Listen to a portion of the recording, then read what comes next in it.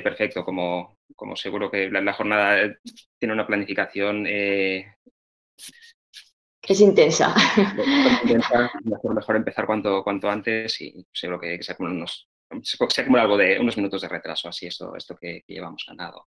Pues nada, pues, pues de nuevo muchas, muchas gracias. Eh, doy, doy paso al moderador de la, de la primera sesión, que es eh, Juan Antonio Moreno, Moreno Murcia. Juan Antonio, muchas, muchas gracias. Eh, adelante cuando quieras. Bueno, gracias a vosotros y, en este caso al vicerrectorado por permitir el, reunirnos aquí a, a una serie de personas que seguro que vamos a disfrutar esta mañana. Eh, como muy bien ha indicado Luis, pues ahora tenemos esta primera sesión en la que hay un tiempo asignado para cada una de las, de las participaciones en las que con la intención de poder llegar al final en tiempo y, respetar los mismos para todos, pues eh, simplemente intentar ajustar esos 10 minutos que, se tienen asignados y que eh, permita el poder disfrutar de cada una de ellas. Si os parece bien y hubiera alguna consulta, alguna duda tras cada una de las presentaciones en esta primera sesión, abrimos pues, un posible turno a posibles consultas o dudas y en el que, bueno, pues ahí yo estaré moderando cada una de vuestras consultas. ¿eh? En este sentido, pues eh, durante la presentación, lo ideal es que los micros puedan estar cerrados por, esas interferencias que tenemos muchos de nosotros ahora en casa, que tenemos a, los peques y, demás, y que se puedan activar cuando aparezcan las, consultas. ¿Ok? Bueno, pues sin más, eh, vamos a dar paso a, adelantando en este caso al, horario previsto. Esperemos que, estén todos los participantes conforme vayamos nombrando y en este caso eh, la primera presentación es el trabajo titulado Marconet, eh, metodologías activas a través de la red eh, en aprendizaje conectado, que lo presenta la profesora del Departamento de Estadística, Matemáticas e Informática, María Asunción Martínez Mayoral.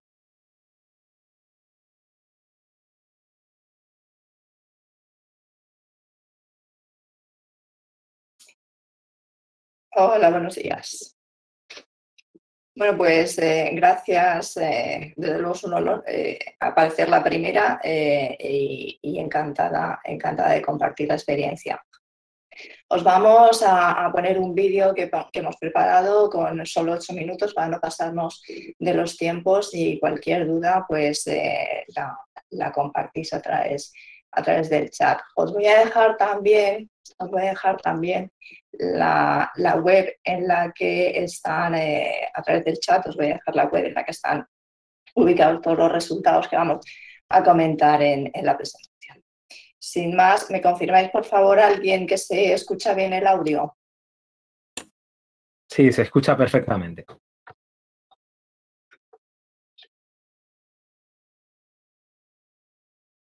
Presento a continuación el proyecto de innovación educativa universitaria PIEU 2020-06 titulado MarConnect, Metodologías activas en red, aprendizaje conectado. El profesorado involucrado pertenecemos al Departamento de Estadística, Matemáticas e Informática y somos el que se llama Lidia Ortiz, Juan Aparicio, Javier Morales y yo misma, a su Martínez Mayoral. Este proyecto ha estado vinculado a cinco asignaturas impartidas en tres titulaciones que son el grado en Ingeniería Informática en Tecnologías de la Información, el grado en Estadística Empresarial y el grado en Seguridad Pública y Privada. El alumnado, además de tener perfil diverso por titulación, también está repartido prácticamente en los cuatro niveles de grado, desde primero hasta cuarto. Dos de las asignaturas se impartieron en el primer trimestre y tres en el segundo, y dos se realizaron íntegramente. Los objetivos que se plantearon con este proyecto de innovación fueron, eh, pues, eh, en primer lugar, integrar metodologías activas a las sesiones de docencia mixta, presencial u online, así como conectividad para interaccionar y tutorizar al alumnado. Obviamente todo esto tenía que ir acompañado de la correspondiente evaluación de la funcionalidad y la eficacia de las metodologías y recursos web utilizados en cada titulación y nivel.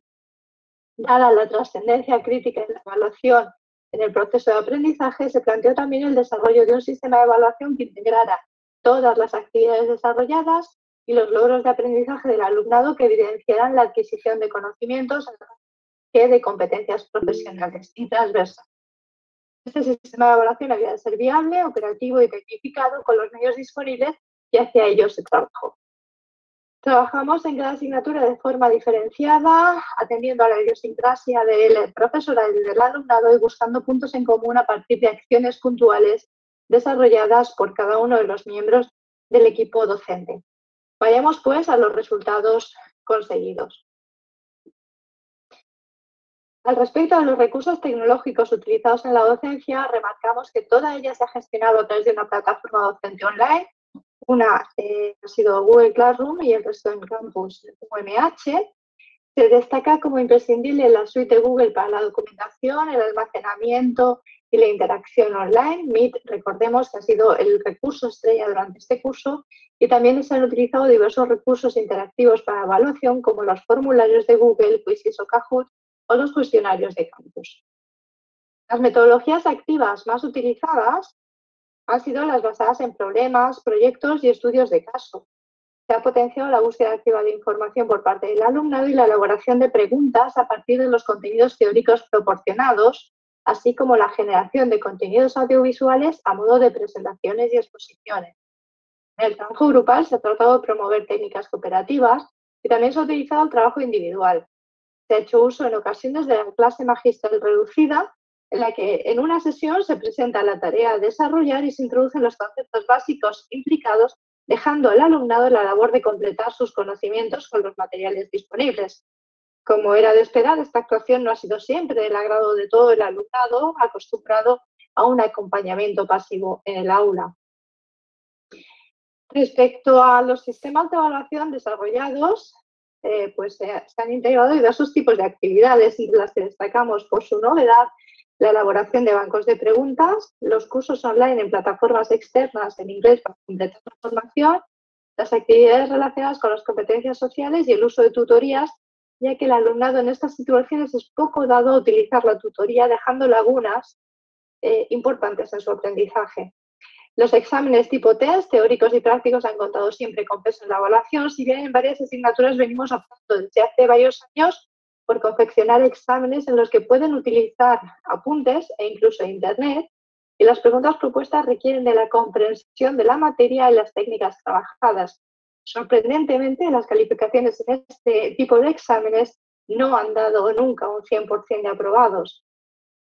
Respecto al sistema diseñado para el seguimiento de la docencia y del aprendizaje, siempre se ha planteado la evaluación continua, dando opción a la evaluación con único examen que ha sido poco o nada secundado. En algunas asignaturas el alumnado ha participado en la coevaluación de sus compañeros utilizando rúbricas diseñadas por el profesorado. Las rúbricas de evaluación sí que han sido una constante en algunas asignaturas para la evaluación de tareas por parte del profesorado, intentando conseguir una evaluación objetiva, para ello, las hojas de cálculo de Google y los formularios han sido fundamentales, así como las rúbricas implementadas en las plataformas docentes, pues, tanto Classroom como Campus las tienen integradas. La percepción del alumnado respecto al crecimiento de las competencias específicas eh, vinculadas a la asignatura ha sido muy positiva, con una evolución positiva en todas ellas para la asignatura 1479 de Estética Impresional en cuarto curso. También a través de las actividades propuestas a lo largo del curso se han trabajado diversas competencias transversales, encontrando en esa asignatura un incremento significativo en las competencias relativas a programación y computación, creación de contenidos digitales, creatividad, comunicación interpersonal, hablar en público, liderazgo e incluso en ética y compromiso social. Hemos incluido otros indicadores de logro destacando la divergencia encontrada en ocasiones entre la evaluación continua y el examen final, hecho que remarca la necesidad de protocolos de seguimiento individualizado más exhaustivos para evitar esas comparticiones de conocimiento sin ánimo de lucro que eh, parte del alumnado realiza, especialmente en las pruebas online. La satisfacción con la docencia solo es pública por el momento para las asignaturas de primer semestre, pero en general el alumnado ha valorado muy positivamente la diversidad de actividades y tareas de evaluación utilizadas, así como el uso de recursos TIC y muy especialmente también el feedback del profesorado en la corrección de las tareas. Como acciones de mejora, percibimos la necesidad de ponderar más eh, la evaluación por el profesorado y menos la coevaluación por el alumnado. Cuando lo utilizamos, la evaluación con rúbricas es positiva, facilita la corrección, pero es compleja por cuanto requiere de una actualización y mejora continuas en los criterios y en las valoraciones para conseguir una evaluación real del aprendizaje y en ello estamos. Es preciso evaluar más allá de los contenidos sobre la comprensión y la relación de las eh, técnicas que estudiamos, que trabajamos. Es muy positiva y bien valorada la retroalimentación a las tareas evaluadas. Destacamos también la necesidad de compaginar tareas grupales con individuales en la evaluación continua, así como la idea de incorporar indicadores de dedicación al estudio o al trabajo del alumnado que creemos que nos permitirían ponderar mejor los resultados. Eh, concluyendo, seguiremos probando y estudiando qué funciona mejor con cada tipología de alumnado. Termino apuntando que con la financiación del proyecto hemos eh, desarrollado este sitio web con Google Sites, UMH, en el que hemos publicado íntegramente la experiencia con sus directrices, alineación, objetivos, resultados y todos los documentos, rúbricas, formularios, hojas de seguimiento que hemos generado y utilizado en la docencia y que se pueden descargar para su uso. Ponemos eh, pues a vuestra disposición todos estos materiales en sites.google.com barra umh.es barra mar-connect. Muchas gracias.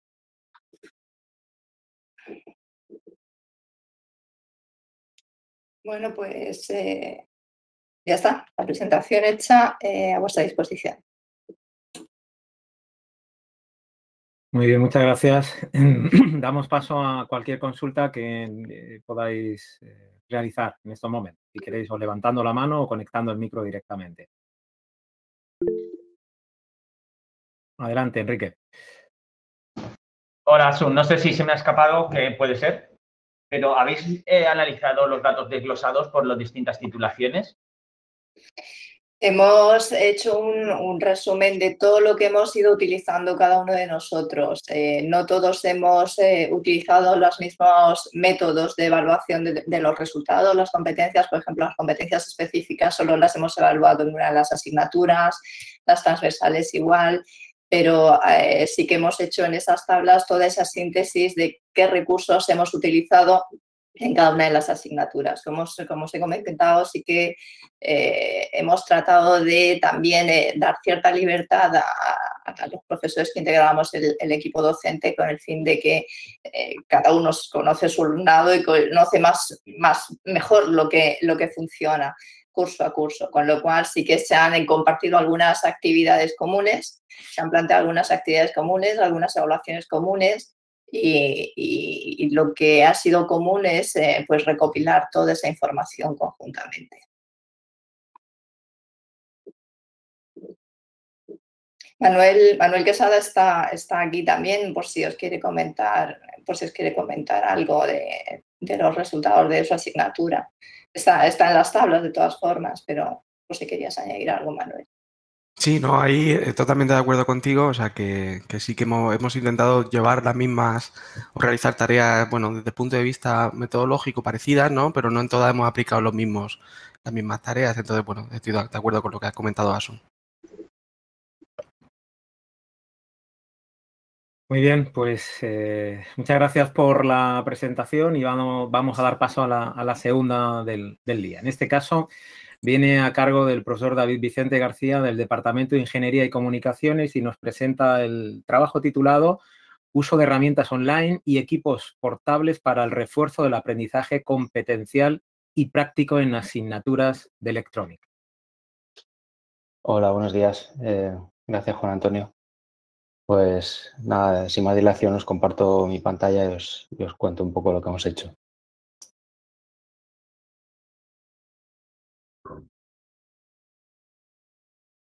Bueno, pues eh, buenos días a todos y a todas. Eh, como decía Juan Antonio, este es el proyecto que hemos, hemos implementado nosotros en la Escuela Politécnica. Uso de herramientas online y equipos portables para el refuerzo de aprendizaje de competencia de práctico en asignaturas de electrónica. Mi nombre es David Valiente y soy profesor del Departamento de Ingeniería de Comunicaciones dentro del área de, electrónica. Eh, un poco la estructura que voy a seguir para no perdernos. Y antes de comenzar, pues agradecer la participación del resto de mis compañeros en, este, en este, proyecto. Eh, también mencionar antecedentes y experiencia que hemos tenido ya anteriormente en esta convocatoria con estos tres proyectos donde en todos ellos hemos tratado de, atajar la misma problemática que encontramos entre los alumnos desde un punto de vista eh, de facilitar o aportar soluciones tecnológicas o, recursos TIC. Entonces, bueno, aquí presentaros esta problemática que venimos experimentando todos nosotros ya a lo largo de, estos últimos años.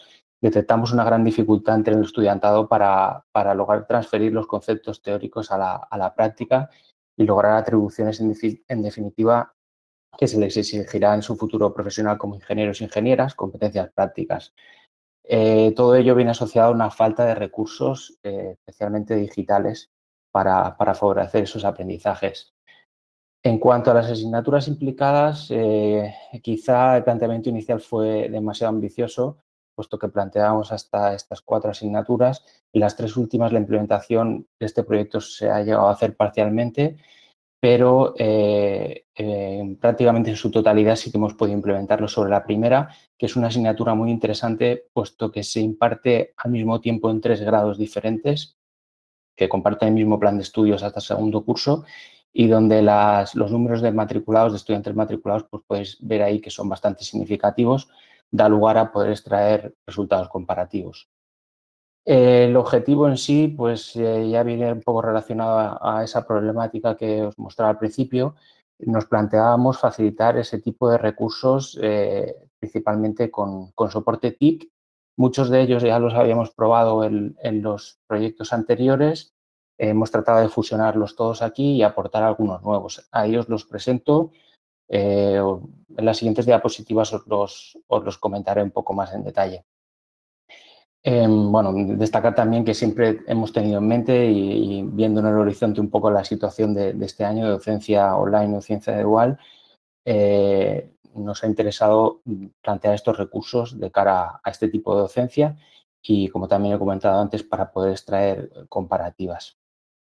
En cuanto a la implementación, nos planteamos una cronología temporal con una eh, distinto tipo de tareas a llevar a cabo. La primera fue, eh, digamos, em, plantear o, reenfocar todo el tipo de ejercicios que teníamos. Mm, muchos son casos prácticos y problemas, pero a un enfoque más real. Mm, eh, también lo, mm, la segunda tarea Em, lo que hicimos eh, em, fue juntar todos estos, estos recursos y estos ejercicios en un cuaderno, un cuaderno Jupyter de la suite de Google, que como veis aquí tiene una, interfaz visual como una, como una web. Eh, aquí los alumnos tenían eh, distinto tipo de ejercicios a resolver eh, con ese, estos distintos tipos de recursos que os iré comentando. Entonces, digamos que esto sería la plataforma donde lo alojábamos todo. Aquí los estudiantes podían resolver los ejercicios eh, dinámicamente. Y nosotros teníamos, teníamos copia y registro de todo lo que hacían. En cuanto a los recursos, que antes no los he mencionado, os decía que los iba a comentar aquí. Mm, hemos incluido, por ejemplo, este tipo de recursos que, son los libros de la editorial electrónica. Aquí tenemos tres de ellos. El, último se, elaboró y se publicó este año. Es un libro con, con exámenes resueltos dentro de la editorial electrónica de la UMH. También dentro de otras convocatorias de, este vicerrectorado, el programa PLE con los vídeos, los, vídeos del canal de la asignatura, el canal de YouTube, donde hemos elaborado mm, cerca de 300 minutos con grabaciones, todos enfocados a problemas, ejercicios prácticos para fomentar ese aprendizaje, de, eh, activo y, más competencial. También subíamos aquí eh, herramientas de simulación, donde los estudiantes podían realizar prácticas eh, realmente mm, casi idénticas a las del laboratorio, eh, directamente simuladas a través de un enlace en una URL. Este es muy interesante puesto que la interfaz es prácticamente eh, igual a los equipos prácticos de laboratorio. Otro ejemplo también de herramienta de simulación, la finalidad y las funcionalidades son las mismas que la anterior, mm, la visualización pues es un poco diferente. Y por último, el último recurso que hemos utilizado, este lo podíamos llevar al aula, al aula de teoría, son unos equipos portables para poder realizar las mismas mediciones que se hacen en, el laboratorio. Aquí sí que es cierto que los alumnos y alumnas debían asistir a clase para poder utilizarlos, pero como veis ahí con un simple portátil y esta pequeña plaquita se pueden hacer todo tipo de mediciones sin necesidad de más equipos. En la cuarta tarea lo que hicimos eh, fue plantearles este Google Form para eh, recabar eh, resultados de satisfacción y un poco la autoevaluación que hacían los estudiantes de su participación en el proyecto y la quinta tarea es la que todavía estamos envueltos, que es extracción de unos datos pues, un poco más profundos y robustos para elaborar esas comparaciones y que sean estadísticamente significativas. En cuanto a los resultados mm, de los que podemos hablar de manera inmediata, un poco eh, empezando sobre la participación. Sí que hay que destacar que históricamente en estas asignaturas, del número de estudiantes matriculados, en torno a la mitad mm, estimamos que son los que asisten a clase. Este año eh, se ha repartido entre un 25% asistiendo presencialmente y un 75% desde casa. Eh, ya sabéis todos que, la docencia dual tiene esa comodidad de poder hacerlo a través de Meet, pues la gran mayoría ha preferido hacerlo desde casa. La participación en el proyecto de ese 50% de asistentes, un poco menos de la mitad han sido los que han decidido por su propio voz y voto eh, eh, trabajar en este proyecto y realizar ese tipo de actividades en el cuaderno online, eh, de entre los cuales el 70% aproximadamente eran quienes asistían a clase presencialmente. Eso ya nos indica pues, una, una pequeña conclusión. Y bueno, por último, sí que es cierto que la participación en global entre todos los estudiantes matriculados pues es solo un 20%, eh, yo creo que viene ya determinado porque solo el 50% eh, sigue la asignatura. En cuanto a resultados de logro, pues eh, son muy satisfactorios. El 90% de los participantes en el proyecto consiguen superar la asignatura, solo un 5% la abandona o no la supera. Y por contra, de ese 57% que, no, que decidió no participar, pues todo lo contrario, solo el 5% supera la asignatura eh, un 35 no la supera y un 60 la abandona. Eh, eso se ve desglosado a la derecha, comparativamente hablando, entre los tres grados en los que hemos implementado esta asignatura. Sería la gráfica de la derecha. En la de la izquierda, las calificaciones que obtienen. Eh, a la izquierda, los participantes la hemos dividido entre todas las notas en añil, violeta, que vemos que ampliamente es un 6, cerca de un 6,5, una nota bastante satisfactoria, y quitando ese 5% que no supera, la asignatura o, la abandona, la nota llega al 7, muy satisfactorio. Por contra, entre los no, participantes, pues la diferencia es bastante notoria. ¿no? Eh, la media es suspensa de un 4 y entre los que aprueban, eh, aprueban con un 6. En cuanto a la satisfacción, eh, sobre 5, todos los resultados pues, ampliamente llegan casi todos el 4. Son la satisfacción bastante buena que, que nos reportan los estudiantes les hemos pedido también que valoren los recursos y, hacen una valoración en este orden. Valoran en primer lugar los vídeos, después las herramientas online y en último lugar los libros y los equipos portables. Esto lo corroboramos aquí con las visualizaciones de los vídeos, que pues, son bastante significativas, especialmente eh, con picos aquí cuando publicamos los vídeos o previo a exámenes, cuando ellos visualizan más los vídeos. En todas las asignaturas lo comprobamos. Eh, por contra, esto también eh, va en la línea de lo que ellos opinan. Los libros parece que les aportan menos o son menos utilizados. En este caso aquí vemos las descargas con un total de 140 descargas de, esos tres libros, eh, pero si atendemos al dato de este año, vemos que el libro publicado este año solo se ha descargado 11 veces. Eso nos hace ver que este recurso pues, no es tan atractivo, digamos, para ellos. Eh, bueno, ya para finalizar, eh, deciros que estamos tratando de, extraer mm, unas correlaciones robustas que nos hagan ver qué eh, recursos son realmente válidos o más beneficiosos, más allá de su propia opinión o de los datos de descargas, y trataremos de elaborar una publicación docente probablemente para este Congreso Internacional. Para concluir, pues esto ya lo voy a pasar muy rápido porque ya lo he comentado todo. El logro y el desempeño de los estudiantes participantes es muy satisfactorio ellos están muy satisfechos y ellas. Eh, valoran más positivamente los recursos de, fácil acceso, de visualización rápida, como son los vídeos de consulta rápida. La participación ha sido baja, eh, o al menos no es la que nos hubiese gustado, va a ser nuestro caballo de batalla de futuro. Y, eso ya, esa baja participación pues ha determinado que, ese estudiantado que no participó, pues las tasas de éxito no fueron, no fueron muy buenas. Como trabajo futuro, pues lo que os decía, fomentar esa participación y obtener esas correlaciones y dependencias que nos hagan determinar cuáles son los, recursos más significativos. Y eso es todo por mi parte. Muchas gracias por, vuestra atención. Si tenéis alguna pregunta, pues aquí estoy disponible para ello. Gracias. Muchas gracias, David. Eh, pues abrimos el turno de posibles consultas cuando queráis. Enrique, adelante. Hola, David. Enhorabuena por el trabajo que me ha chocado un dato que has dicho, que el, el libro, pues lo han descargado pocas veces, con lo que cuesta hacer los libros. Em, ¿pensáis que puede ser que lo consulten pero no lo descarguen? Eh, eh, no, Sí, sí, sí. La verdad es que por ir rápido, todas estas cosas no las he comentado.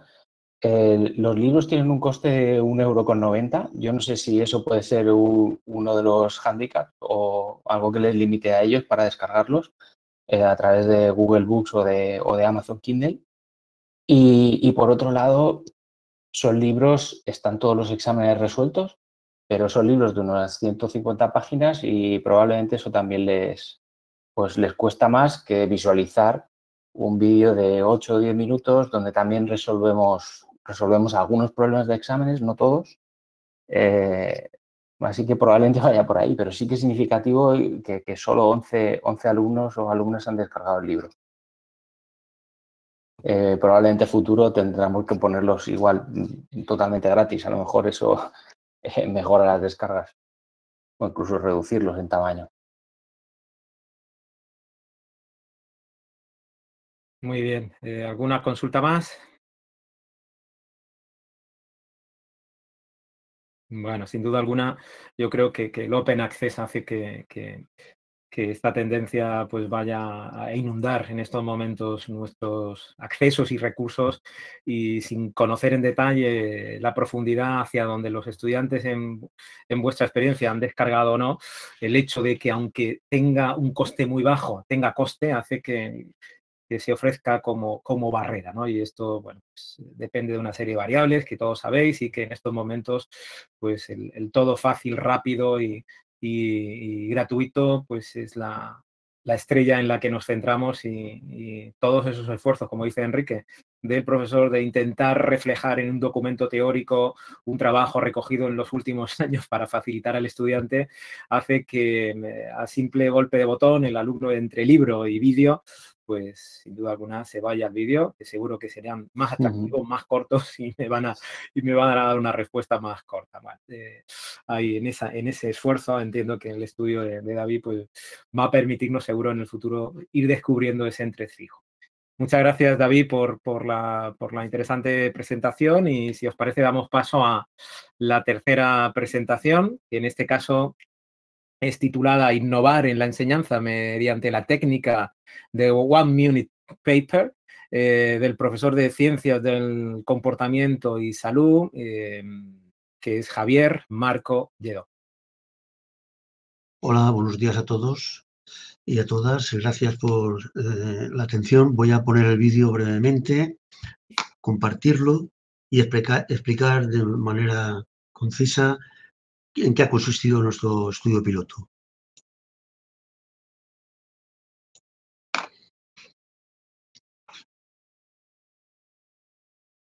Vamos a ver.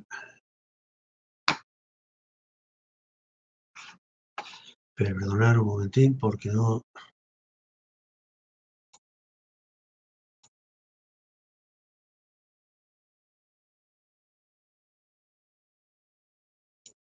Perdonar un momentito porque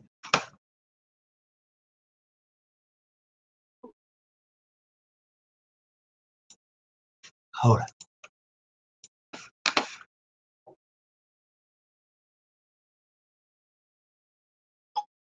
¿Lo veis? Sí, ya parece que, está, eh, está en marcha ya. Parece que va esto con bastante retraso. ¿Lo estáis viendo, por favor? Sí, se está viendo, sí.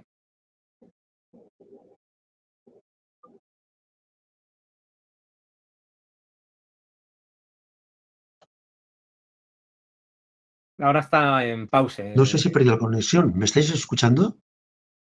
Javier, ¿nos oyes? Sí. Escuchamos bien. Sí, sí, os lo oigo perfectamente. Y, el- y estoy viendo el vídeo. ¿Estáis, ¿Estáis compartiendo el vídeo? El vídeo está en marcha, pero no tiene eh, sonido.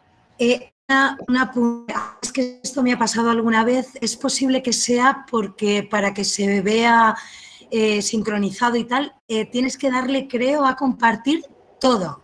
Toda, a Perdón, ver, a compartir. To- toda tu pantalla, no una pestaña. Es que Puede ser por eso, es que alguna vez me ha dado a mí error. Entonces, prueba a hacerlo, en compartir toda tu pantalla. toda mi pantalla, sí. Precisamente estaba compartiéndolo. Vamos a ver. Es, ahora se ve, ahora lo veis, ¿no? Sí, se ve. Lo que pasa es que no se oye, no sé si, o, o no se tiene que oír oye, nada. Si no compartes solamente la ventana, no se oye. Hola, buenas. Compartir la, la pestaña Pues de está al Google, máximo la voz. que es la única que habilita el audio. Hacerle caso a Miguel. Vale. Javier, deja de compartir, vuelve otra vez a compartir como te ha indicado eh, Miguel y, y probamos a ver, ¿vale? Un momento, que cierre. Vaya, qué casualidad. Es que voy con mucho retraso. Es que el ordenador, por lo visto, para cerrar una pestaña está un cuarto de hora aquí para cerrarlo. Y estoy en la universidad, no sé por qué. Vale, ya estoy, me, me veis en la pantalla. ¿Qué debo de hacer? Compartir Pantalla completa. pantalla completa.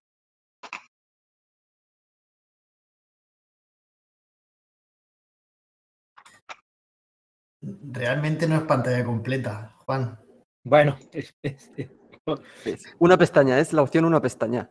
venga. Es una- pestaña. Sí, tiene una casilla abajo que pone compartir audio, que está ya marcada y solo aparece en esa opción.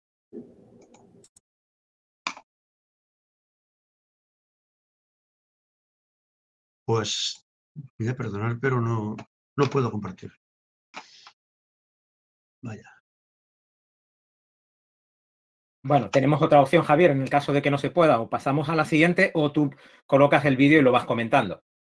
Eh, si lo veis, sí. Si es que además el sonido no entiendo por qué, porque yo lo estoy oyendo aquí, pero no lo comparto el sonido con vosotros. Cuando lo has compartido antes sí que el vídeo se veía perfectamente, pero no se oía. Pero no se oía, ¿verdad? Vale, pues pasar al siguiente mientras ver si puedo solucionarlo. Un momentín. Muy bien, pues vamos a, a pasar al siguiente. En este caso, si está David Vila Moscardó, eh, del Departamento de Arte, con el trabajo diagnóstico profesionalizando en el ámbito de la creación escultórica. Hola, sí, sí que estoy. Buenos días a todas y a todos. También, bueno, he aprendido un poco con lo que le ha pasado al compañero y a lo mejor busco una solución, porque por lo que he entendido del vídeo, debe de estar alojado en el Drive, lo reproduces desde el Drive y entonces vamos a probarlo, que yo lo voy a hacer así, a ver, y si esa es la fórmula, pues ya lo sabemos. ¿Vale? Efectivamente, lo tengo compartido en el Drive. Es posible que sea ese el problema. Pues lo que tendrás que hacer es abrirlo en tu Drive para que se reproduzca desde el Drive y compartir la pestaña del Drive con la presentación. Es lo que yo he entendido. Vamos a probar y, salimos de dudas. Vale, es la primera vez que lo hago. Ando a ver. Muchas gracias. Venga, entonces, vamos, David. ¿Vale? ¿Estáis viendo mi pantalla del Drive? Ahora, ¿Y se escucha? perfectamente. Vale.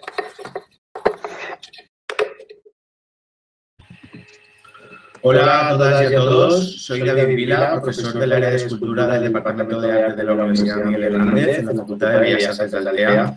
Vengo a compartir eh, el proyecto de innovación docente titulado Diagnóstico profesionalizado en el ámbito de la creación escultórica. Proyecto desarrollado en la convocatoria PIE-UMH 2020-2021 con la referencia número 13. Este proyecto se ha desarrollado en el entorno de la asignatura técnica de fundición del grado de Bellas Artes. Yo soy el profesor responsable, pero han participado también en el equipo de trabajo los profesores Juan Francisco Martínez Gómez de Albacete, María José Zanón Cuenca e Inma Mengual Pérez, todos adscritos al Departamento de Arte de la UMH. Como planteamiento inicial, la situación de partida nace desde una problemática existente entre la clara diferenciación de las metodologías de trabajo habituales en el entorno de las bellas artes y las necesidades reales a la hora de transformarlos en competencias que solicitan las empresas dedicadas al sector de la producción artística. Por este motivo, se plantea este proyecto de diagnóstico profesionalizado en el ámbito de la creación escultórica, para proponer el estudio de casos y la resolución de problemas en proyectos que no sean personales, para agudizar la visión a la hora de realizar un diagnóstico de necesidades para la resolución técnica de un encargo, competencia fundamental a la hora de la inserción en el ámbito laboral dentro del sector de la industria cultural, más concretamente en la rama de la producción escultórica. Esto parte de la necesidad que hemos detectado de que un alumno, cuando haya desarrollado un proceso de trabajo, sea capaz de ver más allá de, las, de los ejercicios propios que ha realizado. Es decir, por ejemplo, en mi entorno, en, específicamente en la asignatura de técnicas de fundición, un alumno cuando llega a la asignatura desarrolla un proyecto personal y se centra en resolver los problemas que tiene la pieza que él, que él mismo ha diseñado, limitando un poco así eh, la capacidad de análisis y visión y, resolución de otro tipo de problemas. Por eso se plantea este proyecto de innovación de docente con los siguientes objetivos. Desarrollar competencias profesionales en el ámbito de la creación escultórica en el alumnado de Bellas Artes, establecer los mecanismos de diagnóstico profesional para la resolución de problemas específicos de la rama de conocimiento, elaborar un diario de trabajo en dicho diagnóstico en el que se puedan clasificar los problemas tipo del ámbito de trabajo para trazar las soluciones estándares aplicables a cualquier propuesta que se enmarque en esas problemáticas, ordenar todos los datos en plantillas que puedan ser catalogadas para su consulta y difundir tanto los procesos de trabajo como los resultados obtenidos a través de las plataformas web de la asignatura Técnicas de Fundición. Para alcanzar estos objetivos, se ha planteado una metodología de trabajo por equipos en la que de forma encadenada se producirá una obra, una obra escultórica en bronce, digamos, en conjunto. Entre todo el equipo de trabajo realizan una única obra. Cada integrante del equipo analizará y resolverá las necesidades del proceso de producción de la obra a través de la información facilitada en las fichas, diferenciando cuatro fases. La primera, el diseño y elaboración del modelo en cera. La segunda, el diseño y el montaje del árbol de colada. La tercera, la realización del molde refractario. La cuarta, los procesos para el acabado de la obra. De forma paralela, se solicita a los equipos de trabajo la realización de un vídeo experimental y procesual del proceso del trabajo realizado.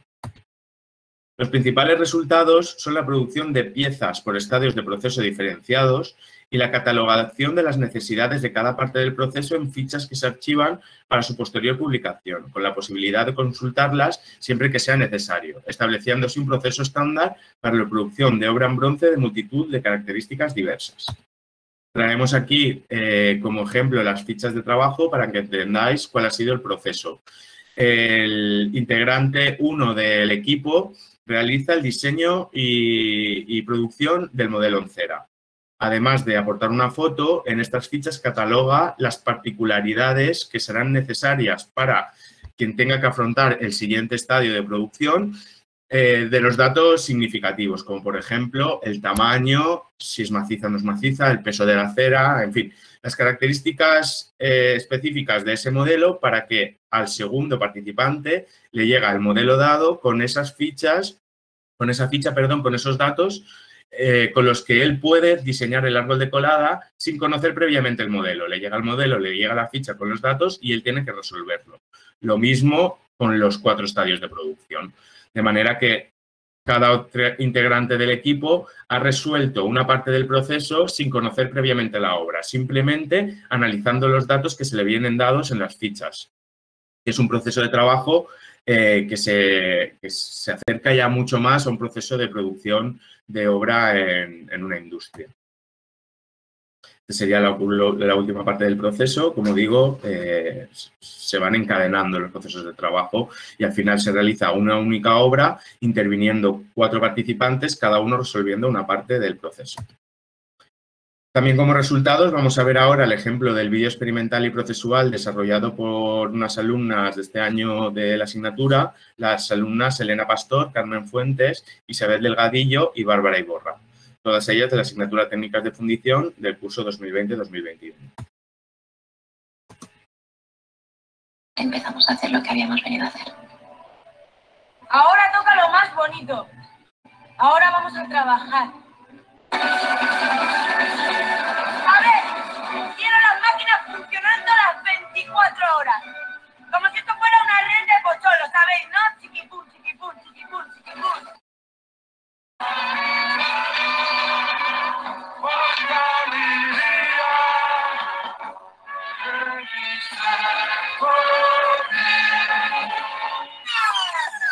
Profesor, soy Nairobi. Berlín no está en condiciones así que a partir de ahora estoy al mando yo.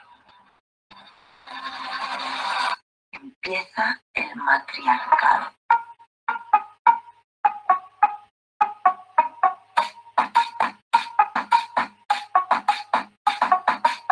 Dale vuelta 360, tú te vas rápida, ligera, suave, lenta. Dale, dale, suave, lenta, suave, lenta, suave, lenta, lenta, lenta, suave, lenta, suave, lenta, suave, lenta, lenta, lenta.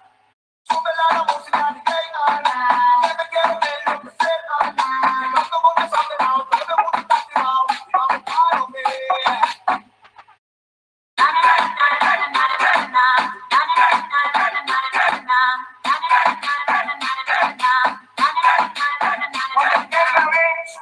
No sé qué tiemblan.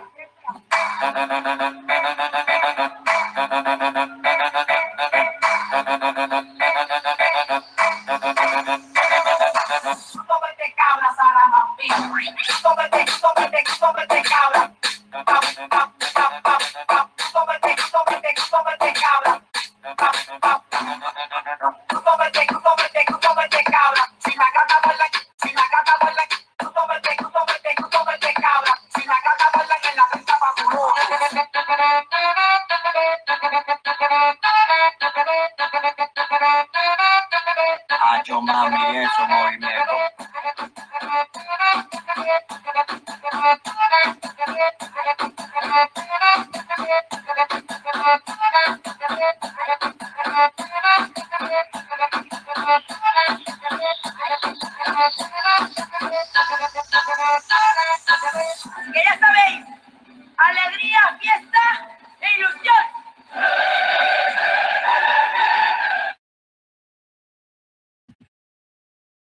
Como conclusiones generales del proyecto, podemos resaltar que los resultados nos indican que el proceso desarrollado es de gran utilidad para la profundización en los procesos productivos de escultura en bronce y que amplían las capacidades del alumnado, agudizando la visión y la capacidad de resolución de problemas del campo espe- específico de trabajo.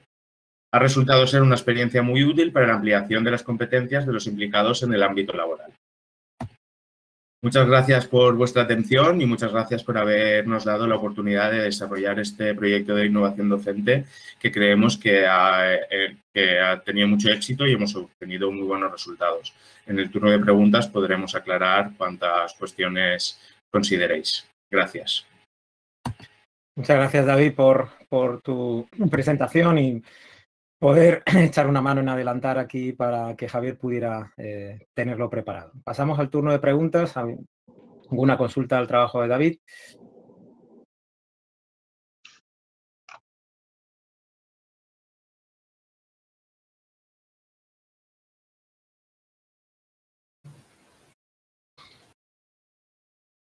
No levantamos la mano. Parece que ha quedado todo, todo claro, eh, David. En este caso, pues agradecerte la presentación y deseando que, que tenga continuidad en el tiempo, como lo vemos, con la implicación del estudiante en el proceso. Muchísimas gracias a vosotros por la atención y por la oportunidad de desarrollar este proyecto, que la verdad es que creo que ha, ha dado unos muy buenos frutos. Gracias. Muy bien. Perfecto. Pues eh, Eh, Javier. eh, Sí, mira, David, este- eh, me gustaría que me dijeras qué es lo que has hecho paso por paso para poderlo, para poder que, para poder que se oiga. vídeo. Dime, yo estoy ahora viendo la pantalla, comparto, ¿qué tengo que compartir? Tiene- Tienes que tener una pestaña con tu Google Drive abierto. Sí, correcto. Y además lo tengo en una pantalla eh, a la izquierda, porque tengo doble pantalla, ¿vale? Tengo doble pantalla. Tienes, que tener tu Google Drive en, en la, ve- en la ventana donde tienes el vídeo como si fueras a reproducirlo desde Google Drive. Correcto. Vale, ¿Qué es, pues lo que, qué es lo que he hecho antes? El Pues problema ahora- es que no lo veíais. Ahora le das a compartir una pestaña y cuando y te saldrá toda la lista de pestañas que tengas abiertas. Busca la pestaña de mi unidad en Google Drive. Vamos a ver.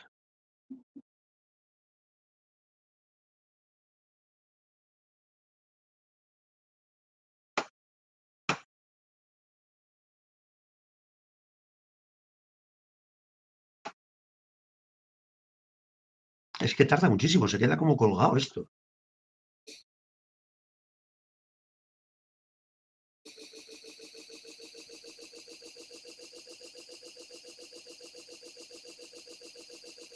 No veis nada todavía, claro. Está intentando mostrar la pantalla, Javier.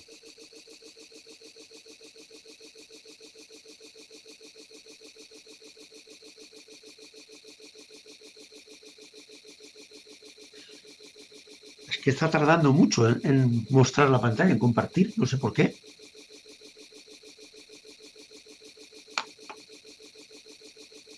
Bueno, quizás si, si no termina apareciendo, eh, podemos dar... eh,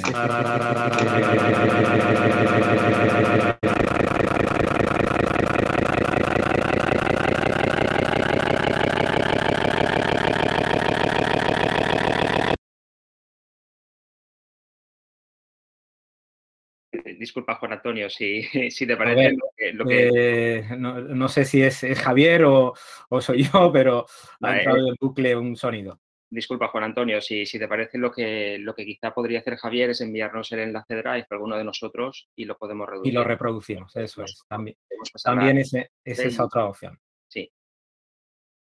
O que, bueno, pues que abra el portátil ¿eh? Eh, de la OMH y que pruebe con el portátil. Quizás a lo mejor eh, posiblemente sea también la, la solución.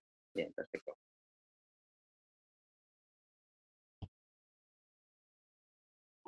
A ver, Javier, ahora se ha abierto una pantalla.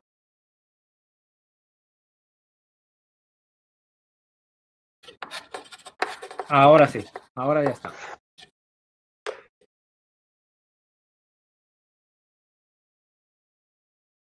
Voy a dar comienzo a la presentación del proyecto de innovación docente realizado conjuntamente con el profesor Jonathan García y que lleva por título Innovar en la enseñanza mediante la técnica del One Minute Paper. Antes de explicar brevemente nuestro proyecto, vamos a ver en qué consiste la técnica del One Minute Paper y qué utilidad puede tener tanto para el profesor como para el alumno dentro del entorno universitario.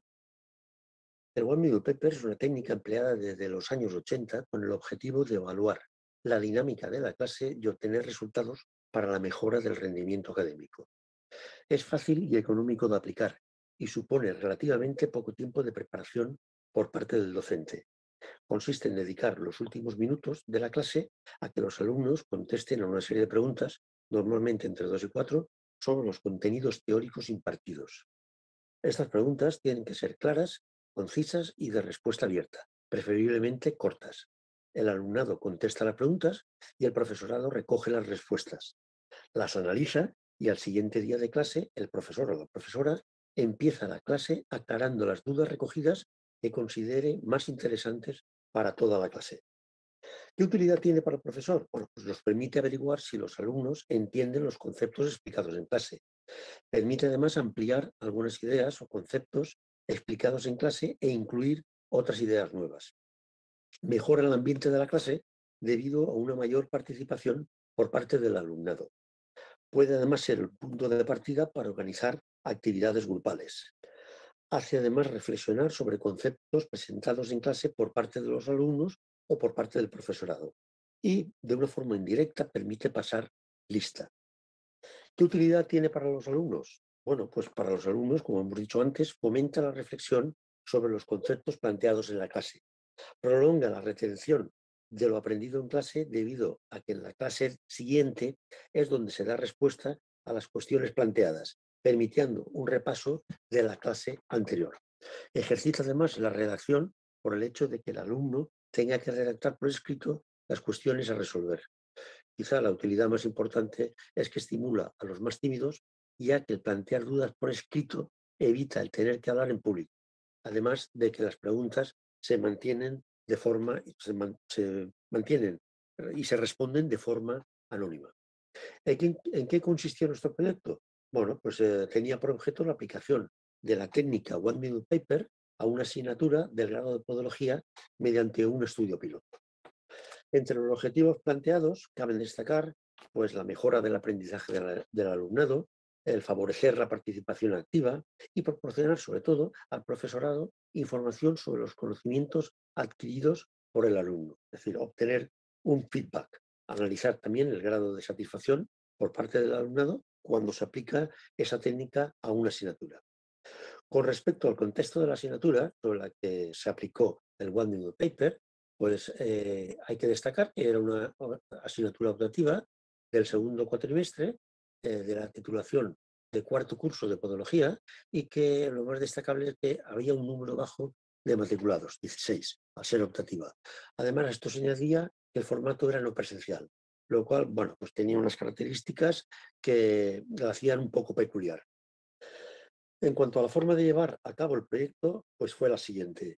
El día de la presentación de la asignatura se explicó a los asistentes que se realizarían seis actividades con carácter voluntario al final de la clase, que cada actividad constaría de cuatro preguntas y que para ello se habilitaría una tarea que permanecería abierta durante los diez minutos siguientes a la explicación de la, a la finalización de la clase.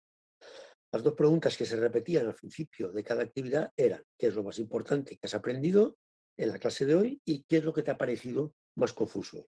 Además, cada actividad contenía dos preguntas de verdadero faxo sobre los contenidos explicados.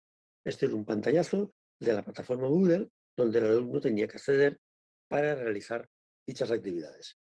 A modo de ejemplo, eh, se muestran las respuestas dadas por uno de los alumnos en la actividad número 3.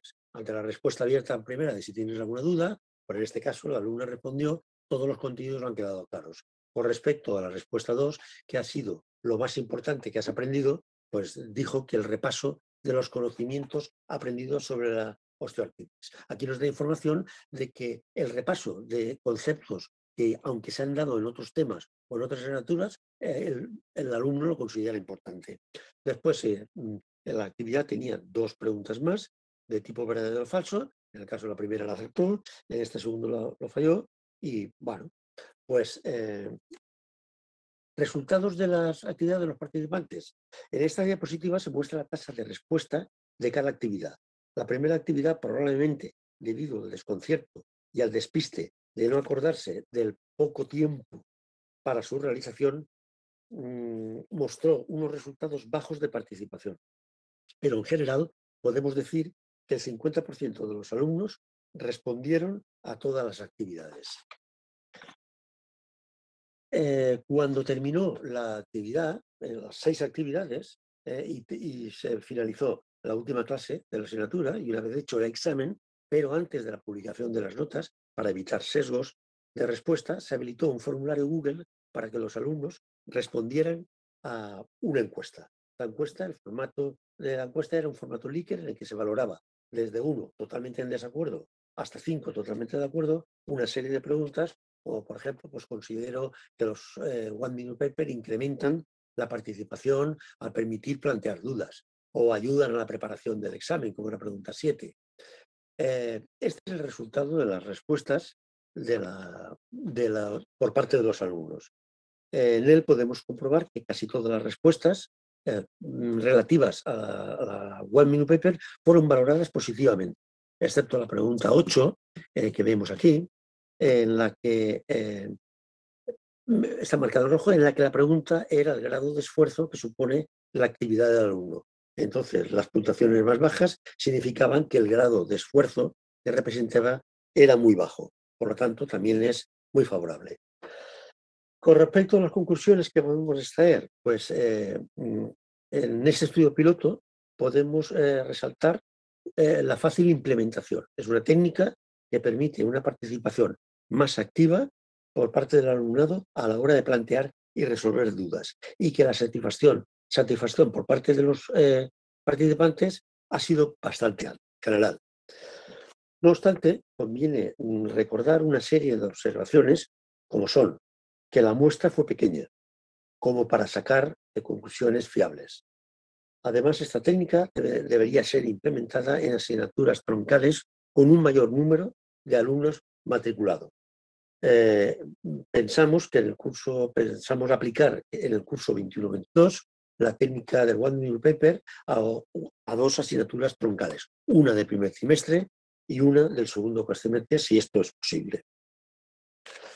Gracias por la atención.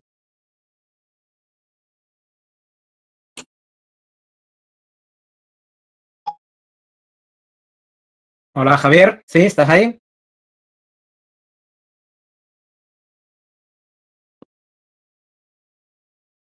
No sé si estás hablando, Javier. Tienes el micro silenciado, Javier.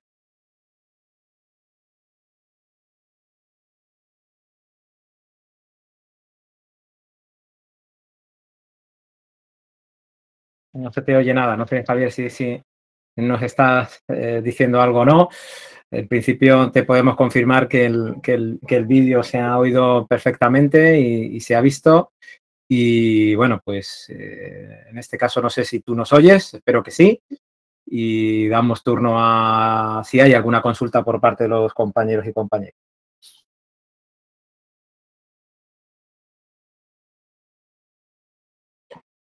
Hola, ¿qué tal?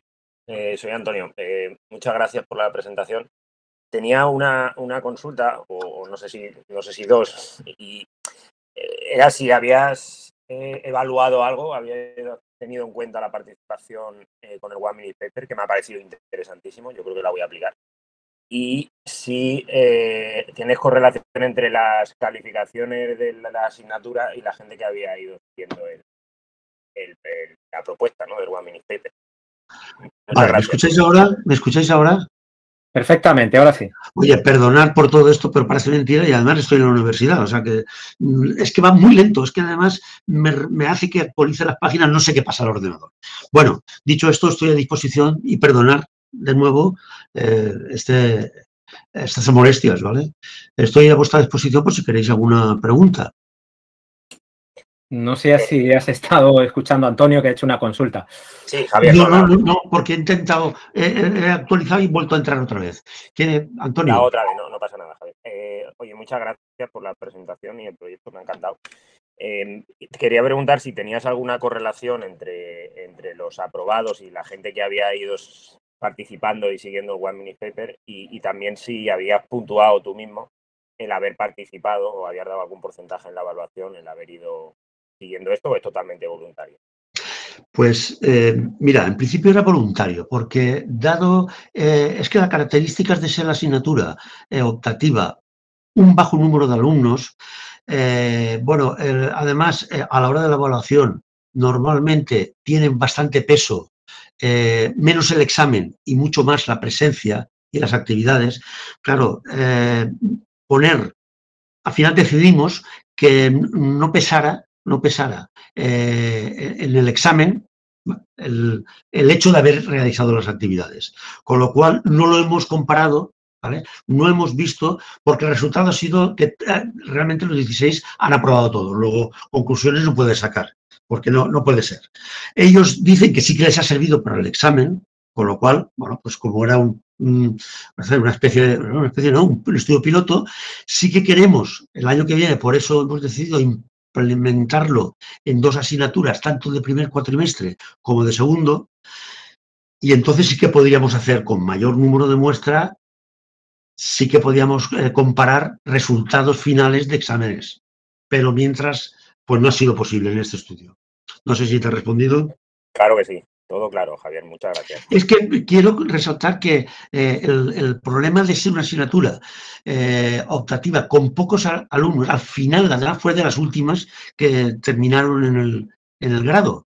Con lo cual, claro, había ahí un- un- un estado entre los alumnos que no querían participar, había que recordarles que por favor rellenaran las encuestas. Entonces, claro, eso tiene un sesgo que hasta que no se haga bien con una asignatura y un número de alumnos suficiente, pues no podemos sacar eh, conclusiones. Muy bien, muchas gracias. Manuel eh, ha levantado la mano. Sí, Sí, hola. Manuel. Sí, hola. Una pregunta, como lo vais a hacer el año que viene con una asignatura troncal, ¿de cuántos alumnos va a ser esa asignatura? O sea, porque claro, aquí, como ha dicho, son, es poco número, pero claro, si son muchos, también deberá ser mucho más complicado pues estar ahí evaluando todo eso. O sea, entonces, ¿qué- ¿cuál es el número óptimo que tú crees que debe tener una asignatura? Claro, efectivamente, eh, eh, una de las conclusiones es que a, a principio no costaba eh, ningún trabajo, ningún coste por parte, coste en el, de tiempo, ¿no? Al profesorado, porque más o menos las respuestas o las preguntas que los alumnos hacen coinciden y entonces, claro, a principio mm, el coste este es relativo, por no decir que es muy bajo. En el momento en que se pueda implementar a un par de asignaturas, tanto del primer cuatrimestre como del se- segundo, pues el número de alumnos no está establecido. Eh, cuál sería el equilibrio entre el número de alumnos que puedan participar y cuando ya empieza a representar un coste para el profesor. Eh, evidentemente hay que hacer la, eh, hay que hacer la, actividad extensible al número de alumnos que están matriculados. Otra cosa es que al ser voluntario, posiblemente el número de alumnos pues no sea el total de los matriculados. Nosotros tenemos una tasa de matriculación en cuarto curso aproximadamente de unos 50. Entonces, eh, mm, en terceros un poquito más y realmente no nos hemos planteado si deberían de participar todos o no. No obstante, para poder comparar si existe una, una correlación entre los alumnos que participan en el One Minute Paper y el, reflejo de la nota final, sí que es verdad que habría que hacer dos grupos. Aquellos que no hagan el One Minute Paper y aquellos que, que sí que participan. Eso se podría hacer en caso de que el número de matriculados fuera muy alto. También es verdad que las preguntas normalmente suelen ser bastante similares, con lo cual eh, eh, hay un número de alumnos que participan y que reflejan la misma cuestión. No, ha quedado bien explicado tal concepto o, han entendido muy bien que con- eh, han entendido eh, cuando se les pregunta qué es lo que más les ha gustado de la clase, eso realmente no tiene respuesta. Si les ha gustado, simplemente me sirve a mí de feedback para la próxima clase reforzar esos conocimientos, ¿vale? Pero eh, no nos hemos planteado si el coste va a ser alto en el momento en que el número de matriculados sea alto. Eso no lo podemos hacer hasta que no, no lo podemos saber hasta que no se haga. Antonio. Muy bien, muchas gracias, Javier. Eh, finalmente, pues hemos conseguido ver tu presentación y Yo de verdad Y- pido de nuevo disculpas porque mm, estaba aquí preparado de pronto y no he podido ser. bueno, aquí le tenemos que dar gracias a- a- al efecto del trabajo colaborativo Y y que no tiene el, os el paso profesorado de la, de la UMH. Muy bien, Gracias a- perdona, Sí, os Javier. mando, os mando aquí en el chat la dirección por si alguien tu- quisiera, para no extenderme más, puesto que si no enlentezco yo he sido el que ha enlentecido esto, os mando mi correo por si alguien quiere eh, hablar sobre la implementación, cómo ha sido, etcétera. ¿Vale? Os lo pongo aquí y gracias de nuevo. Muy bien, bueno, pues gracias a todos por hacer que Javier pues, haya hecho posible la presentación.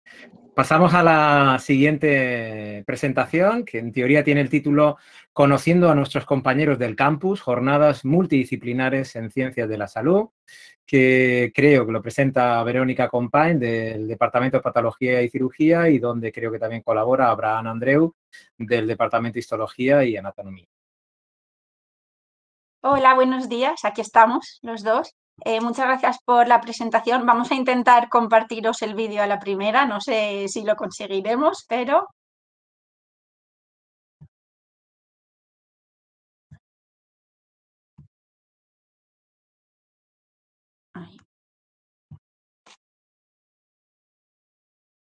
Ahí, sí.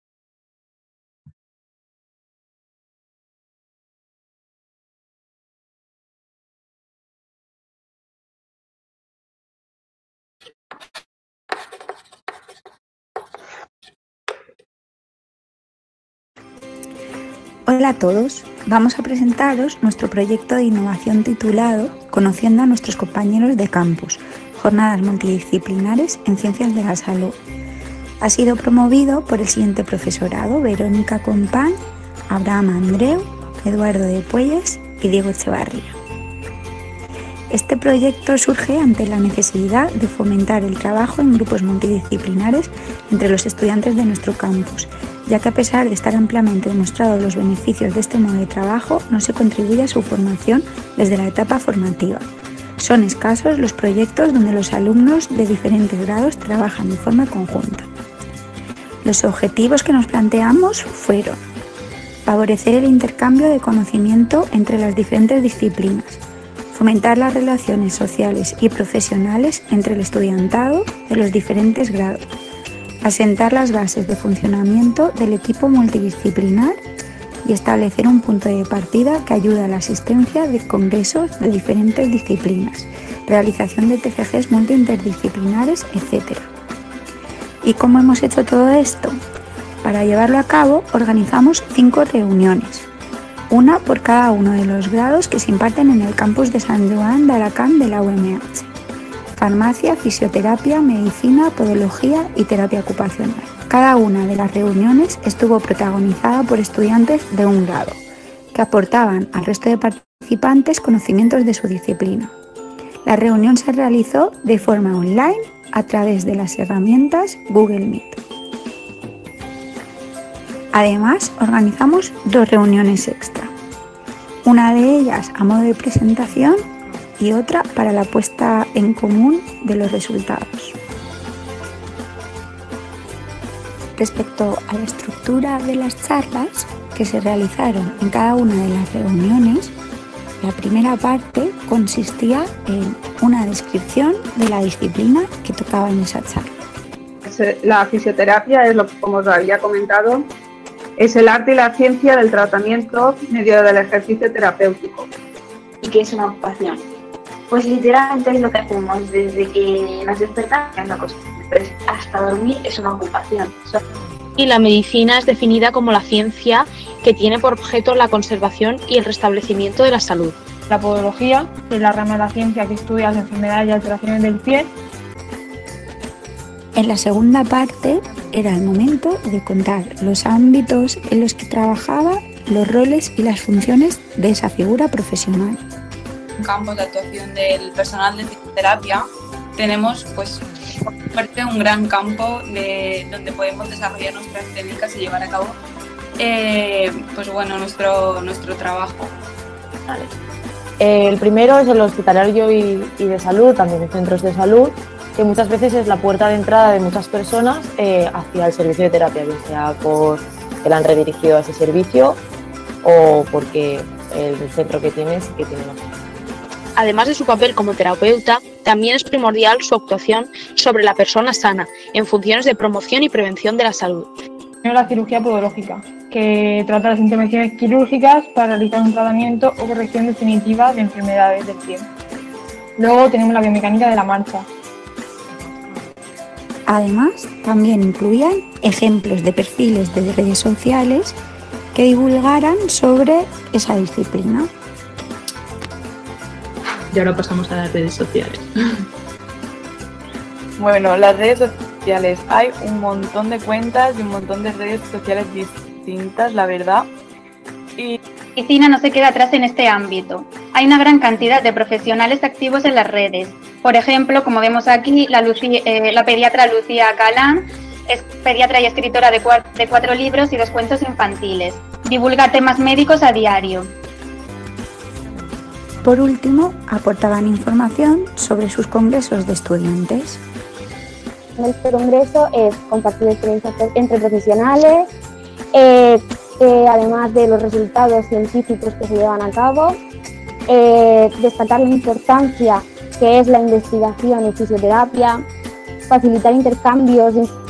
Los profesionales que ya han acabado la carrera, aunque eh, al CIETO también pueden ir personas que no son estudiantes y que quieran tener más información acerca de la terapia. Nacional de Estudiantes de Medicina cuenta con 37 ediciones a nivel nacional y 15 internacionales. Durante tres días consecutivos nos reunimos más de 600 Unos de los invitados, entre otros, son José Víctor Alfaro, podólogo deportivo del Real Madrid, Luis Enrique Roche, podólogo deportivo, fisioterapeuta y especializado en la terapia manual, y María del Mar Ruiz, podóloga especializada en cirugía. El programa se evaluó de diferentes modos. Por un lado, realizamos un cuestionario de conocimientos adquiridos. Consistió en 10 preguntas tipo test con cuatro opciones de respuesta. Se realizó de forma online y anónima y los participantes obtuvieron un 8 de nota media. Otro de los indicadores que usamos para evaluar fueron las encuestas de satisfacción. También se realizó de forma online y anónima consistió en distintas afirmaciones que puntuaron entre 1 si estaban totalmente en desacuerdo y 5 si estaban totalmente de acuerdo. Por ejemplo, a la afirmación tras las jornadas he aprendido las funciones del resto de profesionales sanitarios puntuaron entre 4 y 5, la mayoría de participantes. A la afirmación, este tipo de jornadas facilitan mi integración como futura profesional en equipos multidisciplinares, las puntuaciones de la mayoría también estuvieron entre 4 y 5. A la afirmación, creo necesaria la realización de actividades donde interactúen todos los grados del campus, todos los participantes votaron entre 4 y 5. En la última pregunta, donde se les preguntaba su nivel de satisfacción global con las jornadas, siendo 1 el más bajo y 10 el más alto, todos los participantes votaron entre 8 y 10. Para terminar con la presentación del proyecto, os dejamos con las opiniones del alumnado.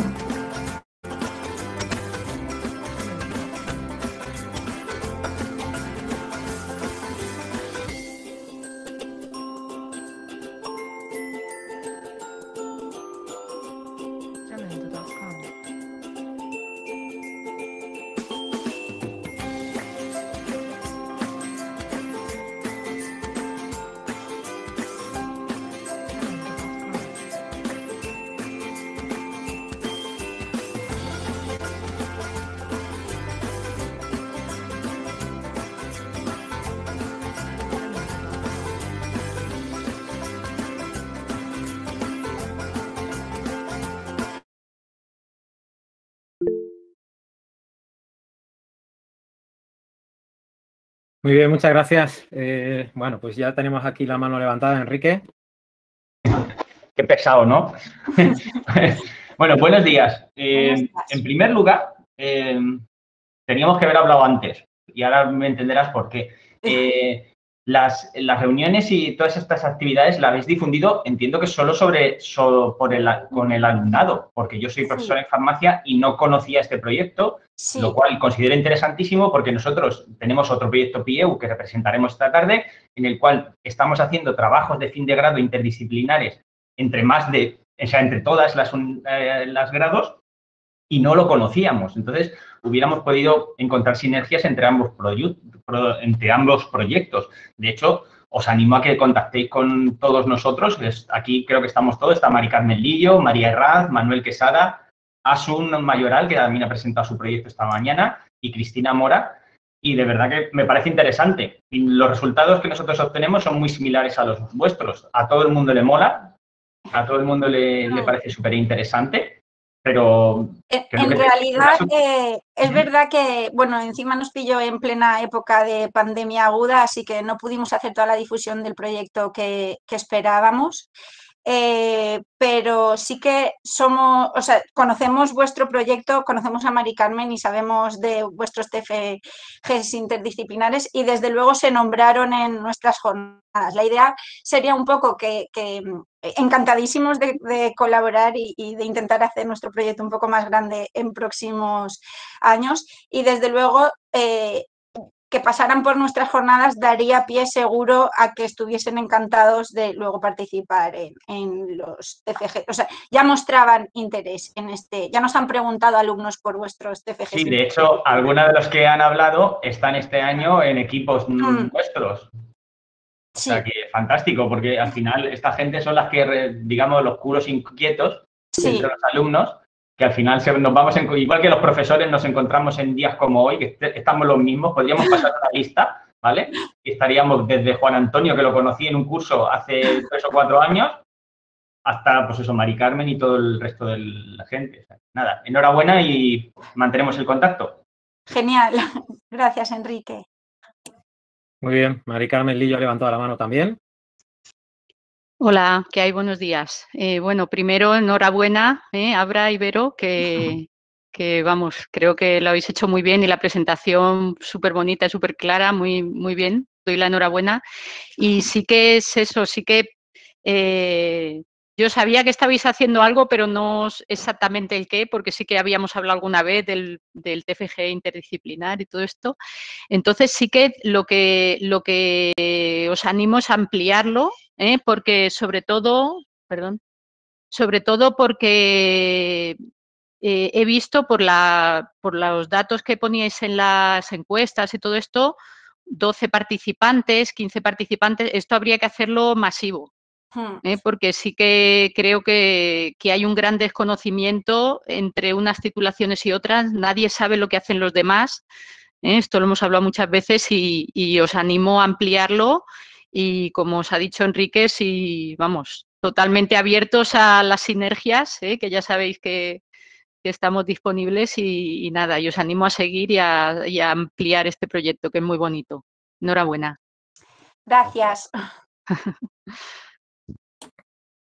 Muy bien, eh, no tenemos consultas, pues eh, agradecer en este caso el trabajo presentado y damos pie al, segundo, al siguiente trabajo. Muchas gracias. Gracias.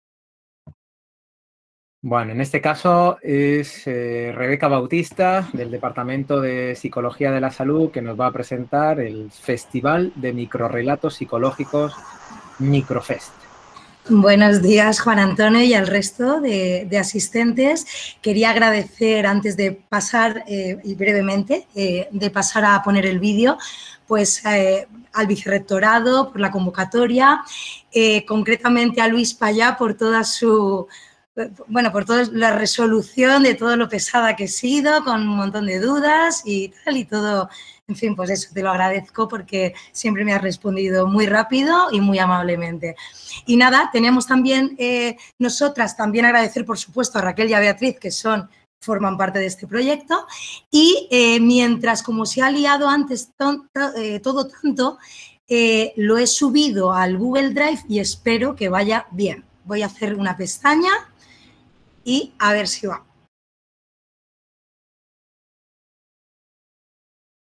¿Se ve?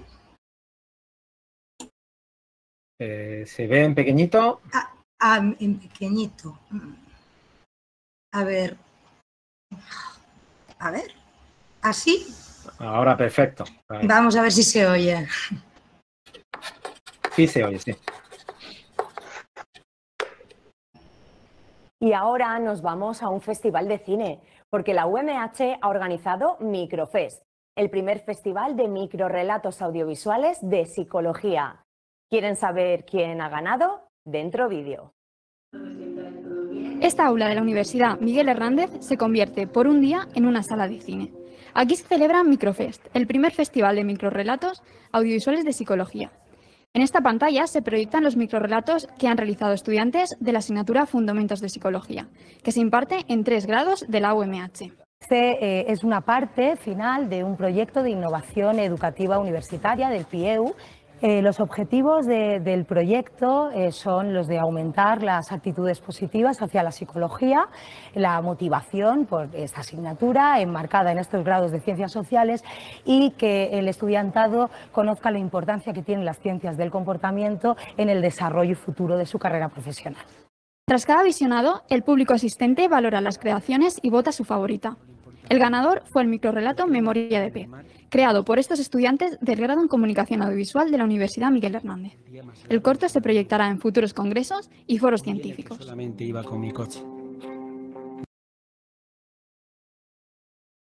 El proyecto Microfest se implementó en la asignatura Fundamentos de la Psicología de los grados de Periodismo, Comunicación Audiovisual y Doble Grado y se implementó como una parte de la evaluación continua. Los objetivos del proyecto Microfest fueron los siguientes. Fomentar el interés por la psicología entre el estudiantado de estos grados y reforzar el desarrollo de habilidades que les permitieran documentarse correctamente en temáticas de psicología y sintetizar todo ese conocimiento para plasmarlo posteriormente en una creación audiovisual de corta duración. Poner en práctica conocimientos técnicos para la grabación y edición de vídeos, entrenar y poner en práctica habilidades de comunicación y expresión oral, adquirir la responsabilidad de evaluar de forma justa el trabajo de sus iguales y, en definitiva, crear trabajos que siguieran todos los criterios y estándares de calidad establecidos, que les permitieran clasificarse y participar en el primer Microfest. Para la consecución del proyecto, las profesoras diseñamos una serie de tareas secuenciales tal y como se muestra en el cronograma. En febrero debían organizarse por parejas, en algunos casos fueron tríos, y elaborar la ficha del guion del microrelato. En marzo debían entregar esta ficha, que sería posteriormente evaluada y revisada por parte de las profesoras. Se dejó el mes de abril para que el estudiantado pudiera crear, desarrollar sus microrelatos audiovisuales que debían entregar en mayo. Durante este mes también se llevó a cabo la sesión de proyección y evaluación de, los microrelatos y eh, aquellos cinco de cada grado que resultaron los mejor valorados fueron los que se clasificaron para participar en el primer Microfest. El festival se celebró también en el mes de mayo y después de, su celebración, como última tarea, el estudiantado debía cumplimentar un cuestionario final. La ficha del guion del microrelato consistía en un documento en el que cada pareja o trío debía describir su tema eh, dentro de la psicología elegido, vincularlo con el temario de la asignatura y realizar una justificación a partir de la literatura científica y entregarlo a través del campus virtual. En cuanto a los microrelatos audiovisuales a desarrollar, estos debían contener dos partes. En primer lugar, una presentación de los autores y del tema de una duración máxima de un minuto y, por otro lado, la propia creación audiovisual con una duración máxima de dos minutos. Se evaluaron, por un lado, la participación a través de dos indicadores de la realización de cada una de las tareas, así como de la asistencia a cada una de las sesiones incluidas en el proyecto. Por otro lado, el rendimiento fue valorado a través de las calificaciones obtenidas por cada estudiante en, esta iniciativa, en la actividad, que se dividía, por un lado, en la evaluación que habíamos hecho las profesoras del guion y, por otro lado, con la media aritmética de la evaluación por pares de cada una de las creaciones. Además, se evaluaron otras dos variables, como eran las actitudes hacia la asignatura y la, satisfacción con el proyecto y logros alcanzados tras la realización del mismo, a través de un formulario, de un cuestionario anónimo compuesto por dos escalas. Una de eh, cuatro ítems, seis originalmente, pero después de los análisis de fiabilidad decidimos eliminar dos para valorar las actitudes hacia la asignatura y otra de cinco indicadores o ítems para valorar la satisfacción con el proyecto. Los resultados obtenidos han sido muy satisfactorios para las profesoras. De aproximadamente 200 estudiantes matriculados y matriculadas, han participado un total de 169, habiéndose desarrollado un total de 84 microrelatos. El rendimiento, por su parte, también ha sido alto, con una media de 8,35.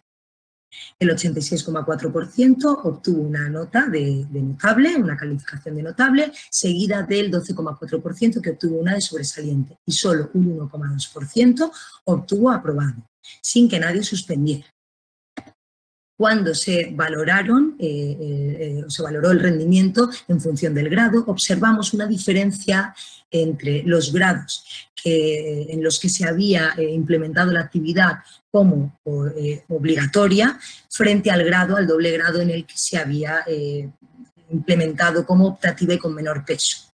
Tras el análisis de, varianza aplicado, los resultados muestran que estas diferencias fueron significativas y que, por lo tanto, la calidad y la valoración, por lo tanto, de los trabajos en el grado en el que la actividad era optativa y con menor peso fue inferior.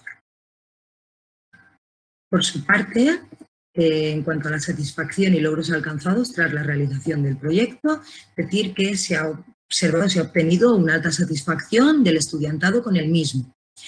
Eh, concretamente, de media se ha obtenido 39 puntos sobre 50 con unos valores de moda de 40 y 43, sin que se hayan eh, detectado diferencias significativas en, esta variable de satisfacción en función de la titulación de procedencia del estudiantado.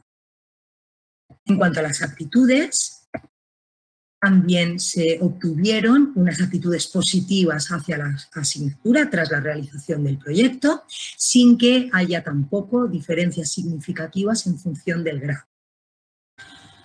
Por último, en cuanto a la relación entre eh, las actitudes hacia la asignatura y la satisfacción, el coeficiente de correlación de Pearson indica que existe entre estas variables una relación positiva y significativa. Cuando se analizaron las correlaciones entre cada indicador de, valoración de la asignatura y de satisfacción con el proyecto, en todos los casos fueron positivas y significativas, llamándonos la atención o siendo eh, de mayor magnitud la que mantenía la motivación por cursar la asignatura con el resto de indicadores de satisfacción con el proyecto. De ahí que nos animáramos a realizar un análisis de regresión lineal múltiple para determinar cuáles de estos indicadores de satisfacción podrían ser los mejores predictores de la motivación. Los resultados de, la construcción del modelo indican que fueron dos, en concreto el aumento del interés por la psicología tras la realización del proyecto, así como el, indicador de satisfacción global con esta iniciativa, los mejores predictores de la motivación por la asignatura. Y vamos a despedir el informativo con el microrelato Memoria de Pez, ganador de Microfest. Que lo disfruten.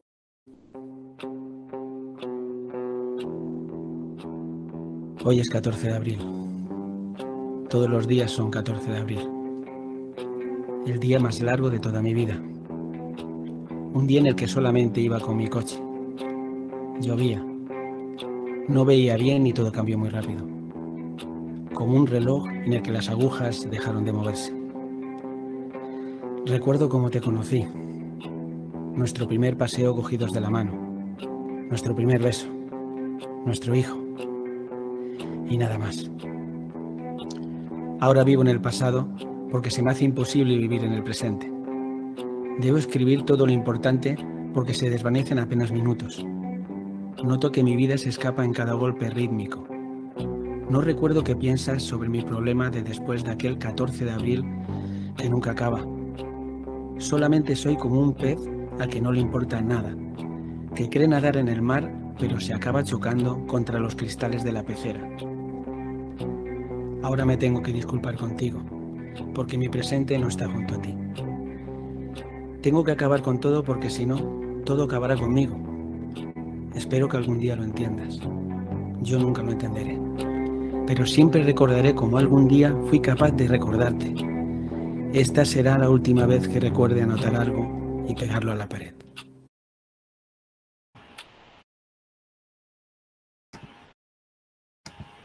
Bueno, pues gracias. Esta ha sido nuestra presentación y el desarrollo un poco resumido de todo el proyecto y quedamos, quedo y mis compañeras que están aquí también quedamos a vuestra disposición. Muchas gracias a las tres por, la presentación de tan interesante eh, aportación. Bueno, pues queda abierto el turno de consultas.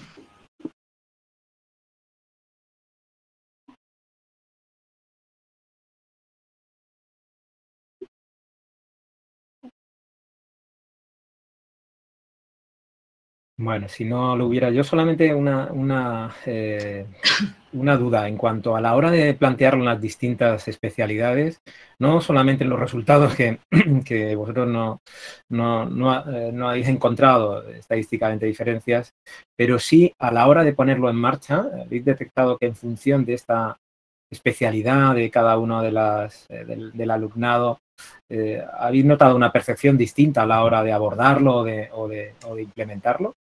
Pues mira, eh, precisamente no hemos encontrado en cuanto a los indicadores directos de lo que hemos medido acerca de actitudes hacia la asignatura, satisfacción con el proyecto y tal. Pero sí que nos llamó mucho la atención y es algo muy significativo y es que sí que encontramos diferencias importantes y significativas en el rendimiento. En función de la naturaleza eh, de cómo se había planteado el proyecto, es decir, en periodismo y en comunicación audiovisual se planteó como una actividad eh, de evaluación dentro de la evaluación continua que tenía un 30% de peso eh, sobre el total, sobre la nota final de la asignatura, mientras que en el doble grado se planteó exclusivamente como una actividad voluntaria y con menor peso, 10%. Entonces, eso nos hizo concluir, aunque no están ahí eh, eh, presentes, de esto hemos sacado, no está todavía publicado, pero mandamos, hemos hecho una publicación, una propuesta de publicación docente, lo presentamos al IMAT y bueno, como conclusiones, pues lo que vimos es que parece que no mm, nos preocupaba efectivamente que en función del grado o en función incluso del profesorado eh, eso pudiera conllevar algunas diferencias a la hora de implementarlo y tal. Parece ser que no fue así, pero sí en, los resultados finales. Y la única variable distinta había sido el hecho de que en unos grados tenía más peso que en otros, obligatorio versus no obligatorio. Entonces, bueno, como conclusión, pues lo que optamos en ese artículo, eh, lo que razonamos era, pues bueno, que para futuras eh, iniciativas lo suyo sería eh, proponerlo como actividad obligatoria. Eso hace o parece ser que se tradujo en un aumento del esfuerzo y de mejores trabajos al final. Y, pero por otro lado, pues dándole distintas opciones al estudiantado para que, eh, es decir, dentro de que tiene que ser algo obligatorio, pues que puedan elegir aquella actividad que mejor se adapte pues a, sus actitudes o a lo que les apetezca hacer, ¿no? Dentro de, bueno, dentro de algo, eh, proponerles algo cerrado, pero con opciones de, de elección. No sé si mis compañeras, Raquel, veo que se quita el micrófono darles control. O sea, al final es un tema de, que ellos tengan control sobre, sobre qué hacer y, el proceso de evaluación. Entonces, esa, esa parte fue muy interesante de, verla, eh, comparando el, el, procedimiento de evaluación de Beatriz, en este caso, que era eh, con menor peso y optativa, y, en nuestro caso, que era obligatorio con mayor peso. Muy bien hecho, eh, nuestra querida directora del proyecto, Rebeca. Gracias. Bueno, venga, eso luego. Gracias, Raquel. Bueno, no sé si... también felicitarte, Rebe, y bueno, agradecer que estemos aquí. Y bueno, yo deciros que, gracias a esta experiencia la vía docente ya, ya lo he puesto obligatorio, ¿eh? que, que, nos sirve para mejorar y ya está puesto como obligatorio para el año que viene. Muchas gracias. Pues deseando conocer esta nueva implementación, donde, como ya sabéis, la ciencia indica que cuando se le da posibilidad de elección al estudiante, hay una mayor identificación con, el compromiso hacia el que va a dirigir. Enhorabuena. Una mayor motivación interna, en definitiva, efectivamente. Bueno, pues. Gracias, Juan Antonio. Eso es, a ver si va bien. Ojalá fuera todo en esa dirección. Pues Muchas gracias y felicidades por el trabajo. Hasta luego. Muy bien, pues damos paso a la siguiente propuesta, que en este caso viene a cargo del doctor Aracil, Adolfo Aracil Marco, del Departamento de Ciencias del Deporte, y que nos presenta el Walking Meeting para el desarrollo de la actividad tutorial en asignaturas de primer curso del grado en Ciencias del Deporte. Hola, eh, perdón, eh, si puedes dejar de... O no, ya está compartiendo, vale, perdona, eh, no me he dado cuenta mientras leía. Gracias, Fito. Nada, pues buenos días a todas y a todos y muchas gracias, Juan Antonio. Yo os voy a contar en, estos minutos un poco cuál ha sido este proyecto de innovación que ha tenido como, como objetivo... un momentito, por favor, aquí ha tenido como objetivo eh, implementar eh, una manera de realizar las tutorías de manera físicamente activa, ¿no? Y que hemos llamado Walking Meeting porque es una, denominación que se utiliza en la, en la literatura.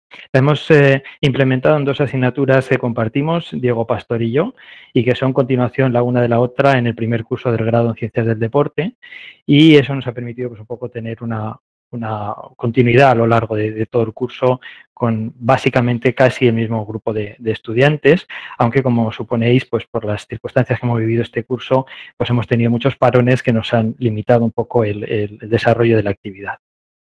Antes de nada, me gustaría un poco contextualizaros eh, el, por qué llegamos a esto, a hacer estas tutorías en forma de walking meeting y básicamente parte de tres, esos tres puntos que veis a la izquierda.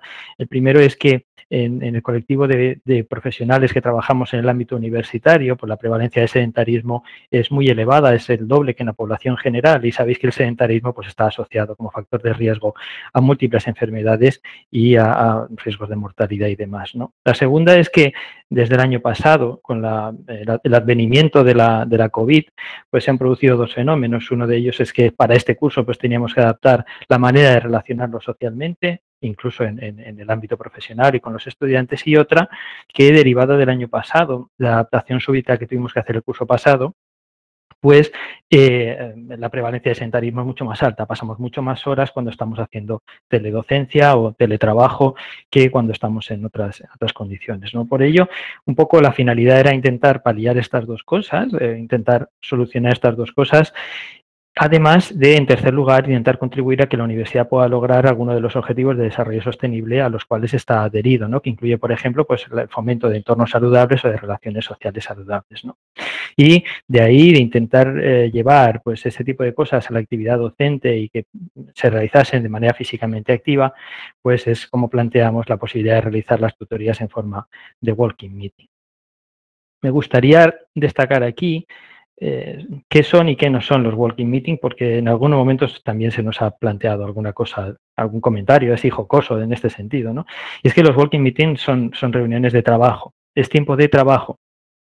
No es un paseo, no es una pausa, no es un, no es un descanso, es una reunión que se realiza trabajando, o sea, eh, caminando de manera físicamente activa, que tiene unos objetivos y que se realiza, pues eso, caminando, fundamentalmente habitualmente en exteriores o también puede realizarse en interiores con un grupo muy limitado de personas, 3, 4 dice la literatura como máximo, y que como se han asociado en algunos estudios pues a, un mayor fomento de la creatividad, de, estados de ánimo positivos y demás, pues eh, se recomiendan sobre todo en algunas empresas en las que está implementada y en algunas universidades extranjeras, pues para reuniones que tengan como objetivo pues la discusión, el brainstorming, eh, la, creatividad y no para otro tipo de cosas, ¿no? Y quizá este es uno de los primeros eh, uno de los primeros puntos en los que yo quiero hacer énfasis, los working meetings son reuniones de trabajo y la principal innovación de nuestro trabajo ha sido llevar esos working meetings a la actividad docente, porque hasta, hasta ahora solo se está recomendando o se, está utilizando para otro tipo de actividad universitaria que requiere de, las, de, las, eh, de la interacción social o de las reuniones, pero no eh, eh, en el ámbito docente. Nuestra propuesta fue, por tanto, eh, dedicar el 50% de nuestro horario de tutorías. Tenemos seis horas de tutorías semanales, eh, lanzamos tres horas a la semana en forma de walking meeting cada uno de los profesores. Y eh, las dos asignaturas que os comentaba antes, estas tutorías se podían solicitar, igual que el resto de las tutorías, de, de, modo propio por el estudiante. Podían reservar franjas de media hora en la que tenía esta tutoría con nosotros y como objetivos, el primero que nos planteamos, eh, puesto que esto en el fondo no deja de ser una experiencia en cierto modo piloto, pues era analizar la viabilidad de la propuesta, ver si se pueden realizar o no. Eh, uno que, un segundo objetivo que todavía estamos desarrollando es el intentar identificar cuáles son los, factores facilitadores o las barreras percibidas por los eh, diferentes actores en, forma de una evaluación 360 grados para que esto se pueda implementar.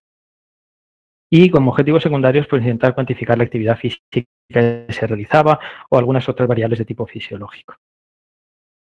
Para desarrollar eh, esta propuesta, eh, el presupuesto que nos dotó el vicerrectorado, pues lo dedicamos básicamente a comprar alguna de estas pizarras de tipo veleda para evitar también el consumo de papel y pues aquí veis un ejemplo de una de las explicaciones que dimos a uno de los estudiantes en uno de estos working meeting con los dibujos que hicimos.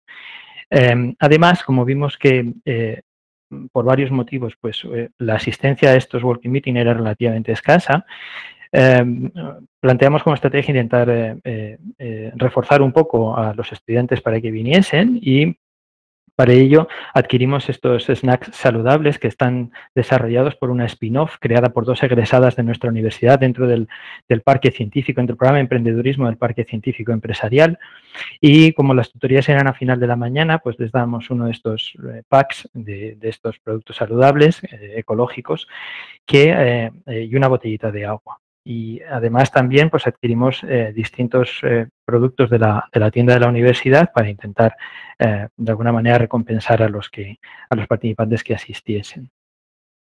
El hecho de adquirir este producto nos causó, como luego comentaré, un resultado inesperado que también consideramos que es positivo dentro de este proyecto. Eh, como resumen general y, puramente cualitativo en estos momentos de los resultados que hemos obtenido es que estas, estas eh, tutorías, al menos en el campus de Elche y en un contexto, digamos, favorable a la práctica de actividad física, como puede ser el grado de las ciencias de actividad física y del deporte, pues son factibles, se pueden realizar. Eh, aproximadamente los recorridos que veis que hemos podido ir haciendo por dentro del campus, dar una vuelta alrededor del campus se puede hacer en una media hora, que es más o menos el tiempo que tenían previsto em, teníamos previsto para, hacer estas actividades y eh, en ese periodo se camina alrededor de dos kilómetros y medio. Y eh, bueno, eso supone que si se pudiese generalizar y haciendo una extrapolación eh, pues, total a que una buena parte de nuestra actividad docente, tutorial, la hiciésemos de esta manera, pues permitiría que trabajando dentro de nuestro, de nuestro horario laboral pudiésemos acumular la, actividad eh, la cantidad mínima perdón, de actividad física recomendada por la Organización Mundial de la Salud, eh, considerada como saludable. ¿no? Insisto en que sería trabajando. Además de eso estarían los desplazamientos que pudiéramos hacer hacia el trabajo o la actividad física que hiciésemos en nuestro tiempo libre. Eh, el hecho de, que estas eh, tutorías se hayan realizado así ha permitido también tratar no solo, no solo responder dudas académicas, sino tratar en muchos casos pues, cuestiones de orientación académica o de orientación vocacional de los estudiantes, incluso en algún momento pues, eh, hablar de cosas más personales que suponen al menos para mí, de manera personal, un enriquecimiento porque suponen adquirir una visión de cómo es ese estudiantado que es un poco más allá de la que uno obtiene con la relación en las clases o a través de los trabajos o a través de los, eh, de los exámenes. Otros resultados eh, que hemos podido obtener eh, o que consideramos positivos han sido que al comentar esta propuesta de innovación en las reuniones de los consejos de grado, del máster universitario en rendimiento deportivo y salud, pues fueron incorporadas a los planes de mejora de estas de estos titulaciones y um, hay otros compañeros y otras compañeras de diferentes asignaturas que han um, han copiado esta idea o la han tomado o han hecho algunas otras cosas relacionadas con esto y que consideramos positivo, positivos. ¿no? Eh, la otra es que de manera inesperada también, este pasado abril se creó la Comisión de Promoción de Hábitos Saludables de nuestra universidad por el Consejo de Gobierno y uno de nosotros pues, fue invitado a formar parte de esta comisión.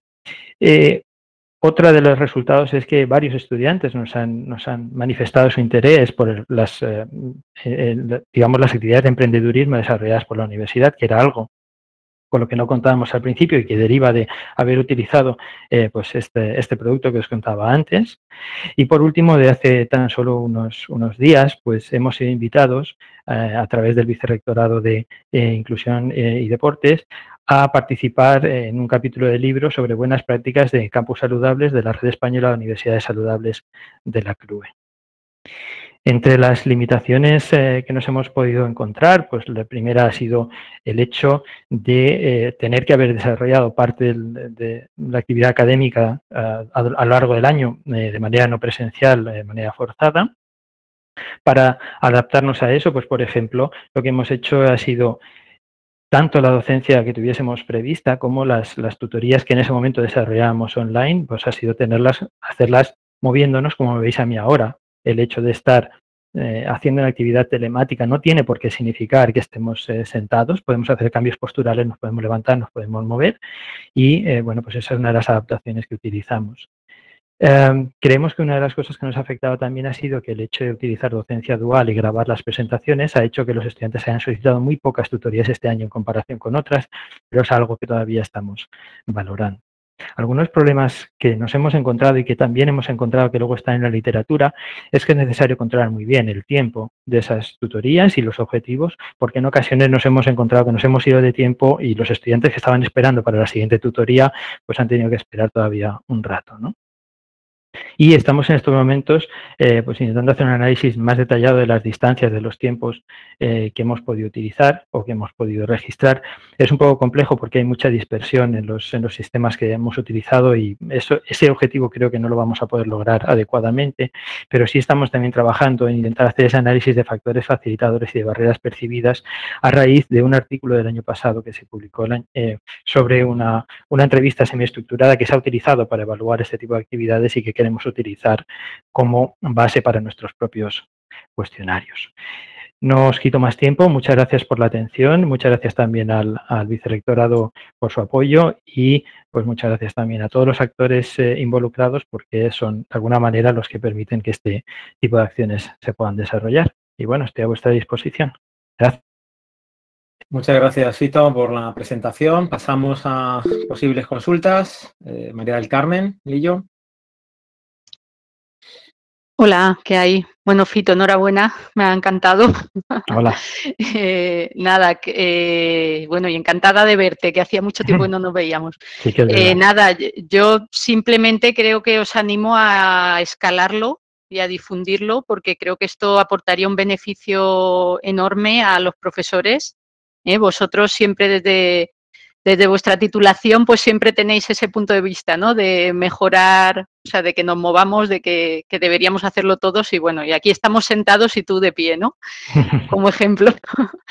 Entonces, no sé, eh, es que estabas hablando y se me estaban ocurriendo un montón de ideas para, para, que supongo que ya las tenéis vosotros también, para difundirlo, no sé, o hacer a lo mejor una aplicación informática que en la que se pudieran adherir muchos profesores, ¿no? Para, o sea, ponerlo fácil, a lo mejor poner, eh, pues eso, la aplicación que hayáis utilizado, pues para calcular el tiempo, la, o para poder establecer los objetivos de cada reunión, no sé, eh, creo que sería muy beneficioso eso, ponerlo como paquetizarlo, ¿no? Mm. Aunque luego cada uno le dé su estilo, pero, pero poder eh, establecer una especie de producto, ¿no? Muy sencillo para facilitar el uso de que al final puede ser totalmente sencillo, ¿no? De salir con el estudiante y ya está, pero, pero creo que, que ayudaría mucho a que muchos profesores lo siguiéramos. ¿eh? para sentirte parte a lo mejor de un equipo de profesores en toda la universidad que está haciendo eso, ¿no? Y, bueno, eh, creo que sería muy interesante. Yo, ahí hay varias cosas que se entremezclan, Mari Carmen, y, a lo mejor también excede al ámbito de esta jornada, ¿no? Lo que podamos comentar. Si quieres, podemos eh, hablar algún día, por supuesto, haciendo un walking meeting, por supuesto, caminando. Me da igual Campus de Hechos de San Juan, pero caminando. Pero, por ejemplo, sí hay aplicaciones que intentan gestionar, sirven para la gestión interna de, de los walking meeting. Hay alguna desarrollada por ahí. Y hay múltiples que permiten medir distancias, eh, frecuencia cardíaca y demás. De hecho, nosotros hemos utilizado varias de ellas. El problema que nos hemos encontrado es que, por ejemplo, una de las aplicaciones justo en diciembre cambió y el sistema que utilizábamos para registrar frecuencia cardíaca ya no pudimos usarlo. En fin, ha sido un poco eh, caótico, ¿no? Pero luego existe también, no sé si puedo decirlo, es, un, es algo que no debo decir, ¿no? pero sí que me consta que, el, Vicerrectorado de, Inclusión, Sostenibilidad y Deportes está desarrollando propuestas precisamente para eso, ¿no? para que compartamos de alguna manera nuestras rutas caminando por los campus y que entre todos, digamos, vayamos alimentando una base de datos eh, de eso, ¿no? Y que nos permitan a todos, pues, eh, eh, ver cosas distintas, ¿no? Por ejemplo, en los trazados que os he puesto, en algunos de esos trazados, no se pueden ver los momentos en los que paramos, ¿no? Pero en el campus de Elche yo utilizaba como estrategia al parar pues, en zonas simbólicas del campus y les explicaba algo del campus a los estudiantes. Son estudiantes de primero, no conocen la universidad de nada, saben el sitio en el que han ido a matricularse y el aula donde están y poco más. No conocen su universidad, no conocen el espacio físico.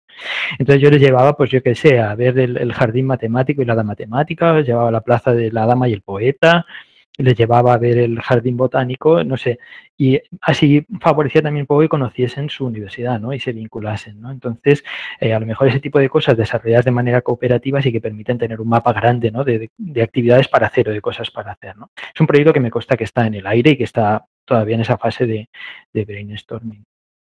Mm. Pues nada, enhorabuena y, a seguir. Muchas ¿eh? gracias. gracias. Muchas gracias. ¿Alguna consulta más para Fito? Bueno, pues yo solamente una consulta cualitativa, eh, Fito, si me permites. Claro. Mm, e, entiendo que el efecto directo sobre, sobre la medición de la cantidad de ejercicio físico y si ya le metes un acelerómetro, pues va a ser eh, exacto y directo, pero no tanto en eso, sino desde el punto de vista cualitativo, en esa interrelación eh, que se da entre, entre el docente y el alumno, y esa proximidad que se consigue con esta eh, situación, eh, entiendo que, no, no, habéis llegado a medir ¿no? el, qué posible consecuencias puede dar pie a esa, digamos, conducta por parte del estudiante a, a ver más próximo el contenido, a ver más próximo al profesor, a ver más próximo aquello que se le está presentando y un poco ver si ese, esa interrelación que se puede producir con este el walking meeting eh, puede también provocar esos efectos en, en esas otras áreas. Sí, en efecto, medirlo no lo hemos medido Juan Antonio, pero, pero cualitativamente sí te puedo decir que por lo menos las, las sesiones que he tenido yo con estudiantes pues han sido muy enriquecedoras para mí, indiscutiblemente por, por eso, porque me permiten tener una visión del estudiante que va más allá de la que me permiten tener eh, otro, tipo de, otro tipo de interacciones con, con él o con ella, ¿no? Pero, por ejemplo, yo me he encontrado con situaciones curiosas este curso, que no sé, aunque me vaya un poco de tiempo, si me permitís un segundo, pues me he encontrado, por ejemplo, una estudiante que eh, me confesó que no había tenido nunca jamás una tutoría con, eh, ningún profesor, ninguna profesora que hubiese tenido, que era la primera vez que venía y que se sentía un poco cohibida por el hecho de que fuese andando mm, lo veía como una cosa como agresiva. ¿no? Luego, en la literatura que he podido leer después, parece que eso es algo que, sobre todo en las en los walking meetings que se utilizan en empresas, eh, que, sea tu jefe quien te dice de ir a caminar con él, se ve como algo mm, peligroso, ¿no? Eso al comienzo, luego cuando termina, pues, eh, la situación es totalmente al revés, no hay mucha mayor relación personal y demás, ¿no? Ha habido estudiantes que nos han comentado situaciones personales, situaciones personales incluso afectan pues a sus relaciones eh, emocionales, relaciones de pareja o incluso sus sus eh, eh, relaciones de pareja, cómo les afectan, ¿no? a cómo eh, planes que tienen de futuro les pueden afectar a, la, a seguir o no en la titulación, por ejemplo, ¿no? O incluso, pues, algunos que nos han comentado decisiones personales de, de por dónde seguir su carrera profesional y han decidido, algunos de ellos, dejar la titulación y alguno de ellos, por ejemplo, en estos momentos es militar eh, en, el ejército, en nuestro ejército, y algunos otros eh, justo lo contrario, son ingenieros y han decidido eh, no volver a la ingeniería, dejar la ingeniería y quedarse en nuestro grado. Entonces ha sido una cosa realmente enriquecedora desde ese punto de vista, pero efectivamente no la tenemos cuantificada. Sería una cosa, yo creo, una mejora importante en el futuro si conseguimos mantener esto. Muy bien, nos estamos yendo en el tiempo, pero Francis por ahí levanta la mano. Hola, Francis. Buenas, eh, perdona, eh, soy rápido. Solamente enhorabuena, eh, Cito. Esto es algo que llevamos eh, tiempo intentando eh, implementar. De hecho, ya lo, ya lo intenté hace tiempo. Incluso llegué a tener alguna working meeting con la, propia gerente cuando estaba en, el rectorado. Y me manifestaba un, problema que, que, que había tratado de solucionar, que es el hecho de que hace falta a veces tomar notas, ¿no? creo que lo has comentado también. Y, quizá, eh, decir, por ejemplo, en Elche tenemos la facilidad de que el circuito que podemos seguir puede intercalar diferentes zonas donde puedes sentarte eh, y alternando situaciones en las cuales además va variando, no solamente estás todo el rato de pie o caminando, sino que puedes alternar sentarte o, ir de, eh, de, pie. ¿Eso también lo has, lo has implementado o lo has probado? Sí, es decir, nosotros eh, en las tutorías más largas en alguna ocasión hemos tenido que sentarnos en alguno de los bancos. Otras veces no ha, sido, no ha sido necesario sentarnos, nos hemos parado y en la pizarra hemos ido dibujando las cosas y luego el estudiante ha tomado una foto y se la ha llevado. ¿no?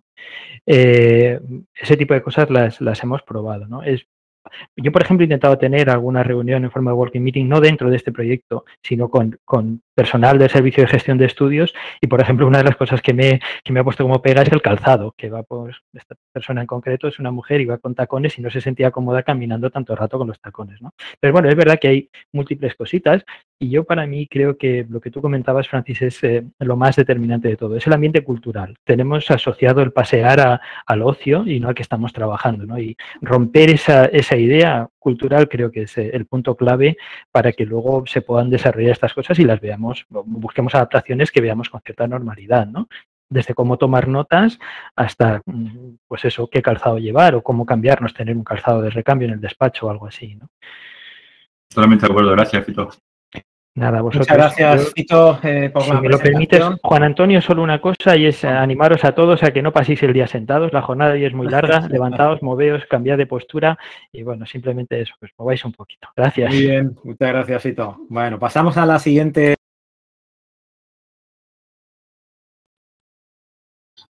No se oye, Juan Antonio. Ahora sí que se oye, muchas gracias. Bueno, pues pasamos a la siguiente que nos presenta Francisco Javier San Juan Andrés del Departamento de Ciencia Jurídica y nos presenta el derecho parlamentario vivo, la aplicación web de iniciativas legislativas de las Cortes Generales. Hola, buenos días a todas y a todos. Eh, en primer lugar, eh, agradecer, eh, al igual que han hecho el resto de personas, al, al vicerrector aquí en la representado una persona de Luis Payá toda la, toda la labor de organización y, y también a, al compañero Juan Antonio Moreno Murcia en la moderación del panel. Bueno, nuestra propuesta de innovación que hemos desarrollado muchas veces eh, y viendo las intervenciones anteriores, pues eh, el mundo del derecho a veces es muy diferente con las anteriores disciplinas porque para nosotros eh, en ocasiones es complicado que el alumnado vea la práctica de los conocimientos teóricos. Por tanto, lo que hemos intentado es un poco lo que Fito comentaba, si quieren, a nivel de proximidad o kilómetro cero, es decir, esa con el walking de poder eh, explicar o tratar al, alumnado, hemos intentado, pero en un plano más lejano, eh, como sería el Parlamento, es decir, que la gente conozca de primera mano eh, cómo es el procedimiento legislativo. en primer lugar, nosotros, la profesora Rosario Tur y yo, lo hemos desarrollado en una asignatura del grado, eh, el doble grado en Derecho y, Administración de Empresas y en concreto en la asignatura de Derecho Constitucional que se imparte en el primer semestre. Pero eh, esto nos ha permitido después eh, desarrollarlo en otras asignaturas. Por tanto, nuestro, un poco nuestro objetivo con, con esto era esa aproximación de algunos conocimientos teóricos para que el alumnado vea que el derecho no es estático, sino que es dinámico y que el procedimiento legislativo, aparte si quieren de esta infografía un poco que detalla el procedimiento y que eh, nos ayuda un poco para explicárselo al alumnado, que ese conocimiento teórico vean que tiene una práctica dentro del Parlamento español y sobre todo cómo, cómo funciona. Y para que ellos eh, puedan eh, utilizar, si quieren, estos recursos, estas bases de datos disponibles en, en fuentes oficiales, la puedan utilizar en eh, su futuro eh, ingreso en el mercado, en el mercado laboral. Bueno, eh, la descripción del proyecto, lo que nosotros hemos hecho es, en primer lugar, que ellos tengan esa base teórica, indiscutiblemente, de qué es el procedimiento legislativo en España, en concreto a nivel estatal, y después que ellos vean los recursos en abierto que disponemos en las Cortes Generales, tanto en el Congreso de los Diputados como en el Senado cómo entran estos procedimientos legislativos si surgen eh, en sede parlamentaria o surgen, por ejemplo, eh, eh, en el ámbito del gobierno, cómo son calificados por la Cámara y cómo se tramitan dentro del propio Parlamento español. También que puedan ver cómo ese texto es un texto vivo, es decir, el Parlamento no se aprueban las leyes aunque exista una mayoría eh, absoluta de un gobierno, sino que eh, genera que haya una dinámica parlamentaria y haya un procedimiento de enmiendas. Todas estas cuestiones que se explican teóricamente, pues que lo vean eh, de forma práctica con las diversas intervenciones en comisiones y también en, en, los diferentes boletines y en el diario oficial de las Cortes Generales. Entramos un poquito más en, en toda esa tramitación parlamentaria, pero para que lo vean y, en esta diapositiva eh, al final lo, les intentamos un poco que vean todos esos detalles que les pueden servir para el futuro como operadores jurídicos en su faceta profesional. Y, eh, por ejemplo, les decimos, eh, por ejemplo, en el tema de la educación que nos afecta a todas y todos nosotros, cómo han habido tanto cambio legislativo en España. Y eh, les decimos que lo pueden eso apreciar desde un punto de vista cuantitativo cuando ven los resultados de aprobación de, de, una ley, lo pueden ver aquí al final, y pueden ver si esa norma es aprobada eh, con consenso o, es por mayoría o eh, es una norma que eh, va a ser alterada a lo largo de, del proceso de, los años. Entonces, les explicamos todas esas cuestiones para que ellos lo conozcan un poco ese funcionamiento y nuestros objetivos, por sintetizar un poquito las cuestiones que les eh, indicaba al inicio, tenemos dos grandes grupos de objetivos, unos eh, más generales y otros más específicos. Los específicos indiscutiblemente orientados a la asignatura para que vean el, qué es el procedimiento legislativo, para que comprueben que aquello que les explicamos teóricamente realmente tiene una practicidad y que ellos la pueden apreciar y que es importante como para su futuro eh, profesional y sobre todo que vean que también el Parlamento, que muchas veces está muy lejos de la ciudadanía, aproximarlo sobre todo a nuestros estudiantes y estudiantes ah, para que ellos eh, eh, aprecien o sean mejores eh, ciudadanos y ciudadanos al conocer de, primera mano cómo está el procedimiento o cómo es el procedimiento legislativo en nuestro país. En cuanto a los objetivos generales, intentamos contribuir algunas de las competencias y habilidades del grado, sobre todo buscando competencias vinculadas si quieren al uso de estas bases eh, de datos, pero también eh, buscando, por ejemplo, fomentando el trabajo en equipo, eh, el trabajo colaborativo y todo ello lo orientamos hacia una formación integral de las alumnas y de los alumnos.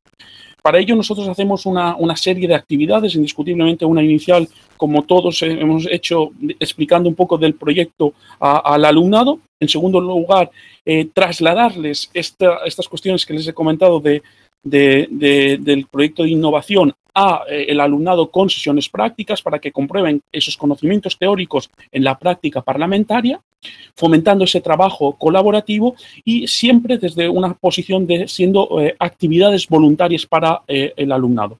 Posteriormente, sí que hemos desarrollado algunas prácticas evaluables para que pudieran poner, en, poner en valor esos conocimientos adquiridos. Y por último, es importante, yo creo que para todas nosotros y nosotras, eh, conocer la opinión del alumnado sobre estas prácticas docentes. Y para ello ah, eh, utilizamos eh, el Ya que es un doble grado y ellos conocen desde el punto de vista de la empresa bastante, tipo, bastante bien este tipo de análisis y nos ha sido de utilidad. E indiscutiblemente, aunque no está aquí presente entre las principales actividades, a nosotros como, como equipo docente indiscutiblemente nos interesa muchísimo, es uno de los importantísimo, por ejemplo, participar en este tipo de jornadas o similar en las que hemos participado para conocer, si quieren, las opiniones de, otros compañeras y compañeros que nos va a servir para mejorar el proyecto de innovación docente. Y por último, en cuanto a los resultados que, hemos alcanzado en, en, el desarrollo de la acción de innovación docente, hemos incrementado en el número de alumnado que sigue la evaluación continua, es decir, eh, las prácticas que tienen eh, un periodo, una calendarización por parte del profesorado y eh, después también hemos apreciado que en las asignaturas del segundo semestre del área de conocimiento, el alumnado utiliza estas herramientas que hemos explicado con acción innovativa en la búsqueda de disposiciones legislativas. También eh, hemos eh, visto que hay eh, un interés de ese trabajo colaborativo y eso nos ha hecho modificar que alguna de las prácticas del segundo semestre pues fuera grupal. Y todo ello, pues lo que hemos intentado es facilitarle al alumno estas herramientas que en el futuro le van a servir para insertarse en el mercado laboral, pero también cuando esté ya en el mercado laboral, pues conocer eh, las actualizaciones que afortunadamente tiene el mundo del derecho de forma continua. Muchísimas gracias. Gracias, Francisco. Eh, pasamos al turno de consultas.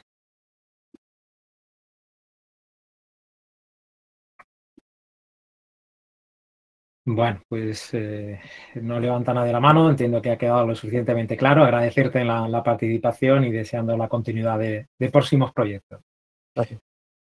Muy bien, pues pasamos a la siguiente eh, presentación que viene a cargo del profesor Adrián Peiro Vidal del Departamento de Ingeniería de Sistemas y Automática y que lleva como título Laboratorio de Prácticas Remotas con Robots Paralelos. Hola, gracias. Vale, yo voy a compartir un vídeo en una pestaña de Google Drive y segundo.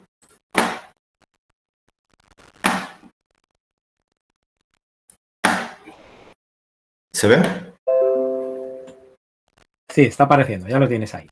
Vale, bueno, voy a silenciarme yo para que no haya eco.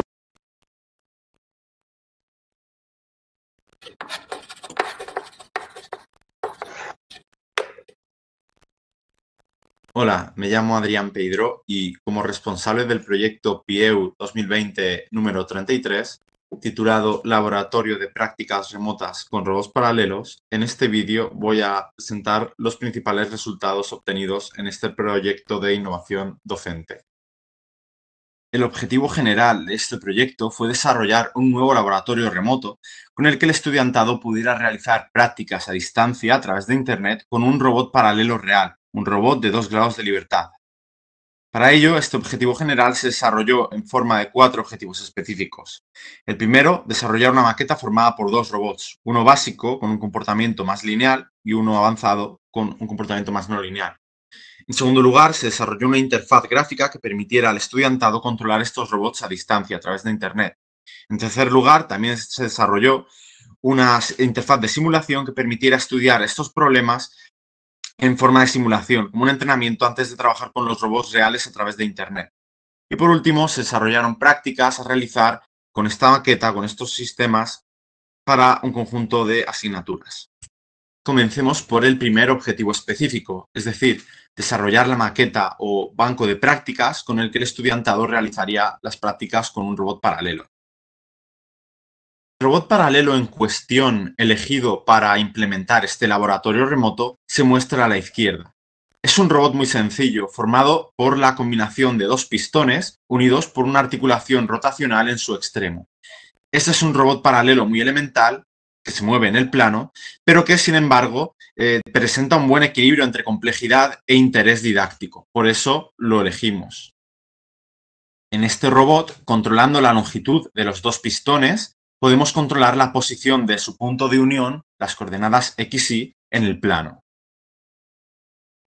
El objetivo era construir una maqueta formada por dos robots independientes, idénticos, con la diferencia de que uno utilizaría actuadores con un factor de reducción elevado, lo que permitiría que el robot se moviera más lentamente y tuviera un comportamiento más lineal, a utilizar ese robot en asignaturas más básicas, y el otro robot estaría movido por actuadores que tendrían un factor de reducción más pequeño, de modo que su movimiento sería más rápido y presentaría un, comportamiento más no lineal. En este caso, el robot se utilizaría en asignaturas más avanzadas de máster.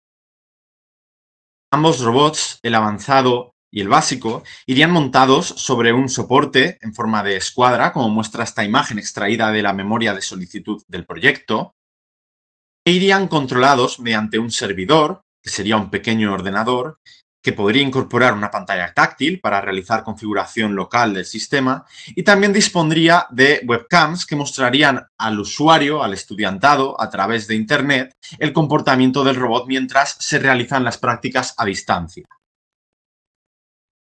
Lo anterior era una foto del esquema que pusimos en la memoria, de lo que queríamos conseguir, mientras que aquí se muestra cómo quedó materializado finalmente en este proyecto. Como se observa, están todos los componentes que acabo de describir. Pasemos ahora al segundo objetivo específico, que fue desarrollar una interfaz con la que el estudiantado pudiera manejar esos robots a distancia y realizar experimentos, enviándoles órdenes, como ahora veremos.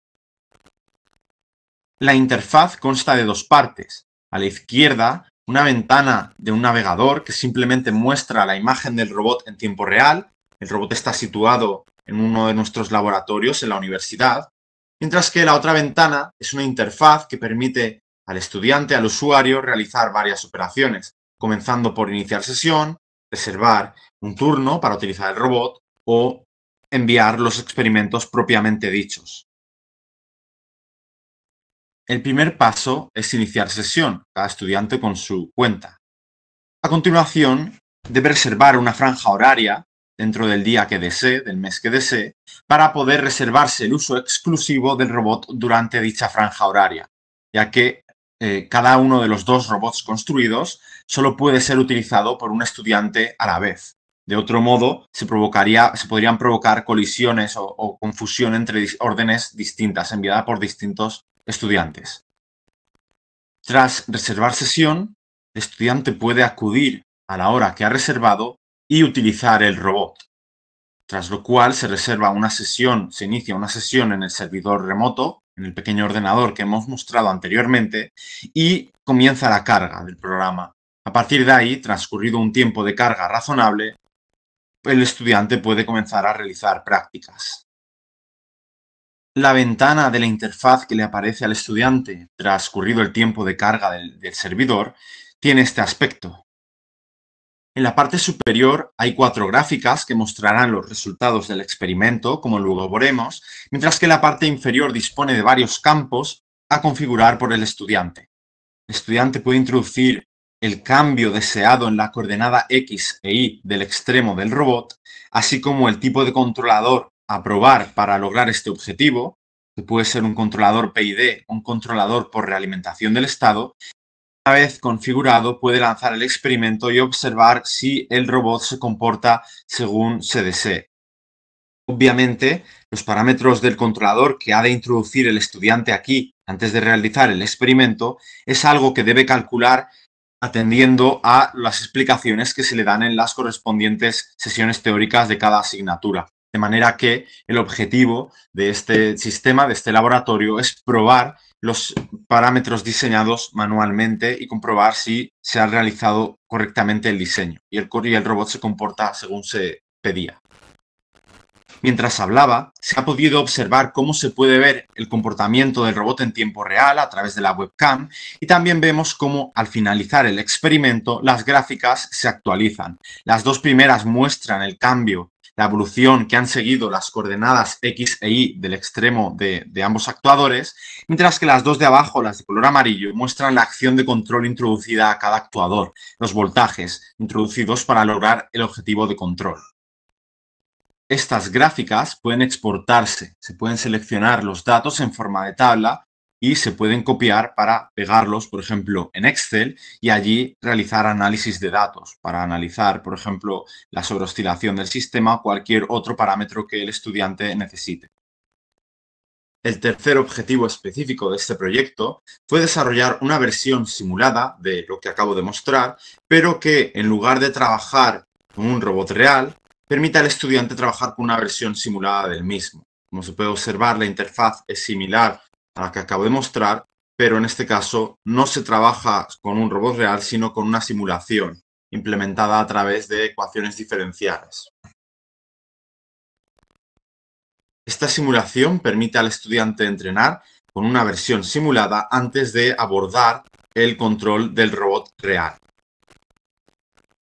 El cuarto y último objetivo específico de este proyecto fue diseñar ejercicios para realizar prácticas en distintas asignaturas que hicieran uso de esta plataforma que acabo de describir.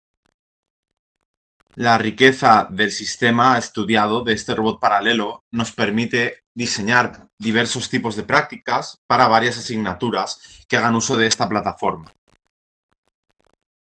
Por ejemplo, su aplicación más directa serían asignaturas de diseño de sistemas de control, ya sea sistemas de control clásico, PIDs discretos desacoplados, como control moderno basado en realimentación del estado. En ambos tipos de asignaturas es posible aplicar el sistema que hemos diseñado para que el estudiante diseñe el controlador del sistema del robot y a continuación lo pruebe primero en simulación y después con el robot real. Este sistema también nos permite diseñar prácticas de identificación, ya que, como se proporciona al estudiante tanto la entrada que se ha aplicado al sistema, los voltajes de control, como la salida, las variables de interés, la posición del extremo de los actuadores, es posible ajustar dichas variables de entrada y salida a algún modelo paramétrico que eh, permita modelar con suficiente precisión el sistema. Por último, aunque ya se trataría de asignaturas más avanzadas, de nivel de máster sobre todo, también puede utilizarse esta plataforma para practicar, para diseñar prácticas orientadas al estudio de la controlabilidad del sistema y cómo ésta se pierde, cómo se pierde la controlabilidad del robot cuando se aproxima a singularidades, donde no es posible controlar totalmente al robot. Para terminar esta presentación, podemos resumir como principales resultados el desarrollo de un laboratorio virtual y remoto para experimentar con un, robot paralelo de dos grados de libertad. Y también se han diseñado prácticas de distintos tipos de asignaturas que, pueden ser realizadas con este sistema. En el futuro será necesario evaluar la utilidad, las ventajas y el impacto del sistema sobre el aprendizaje de los estudiantes y para ello se deberán recabar datos de su uso en distintas asignaturas, lo cual será realizado durante el próximo curso académico.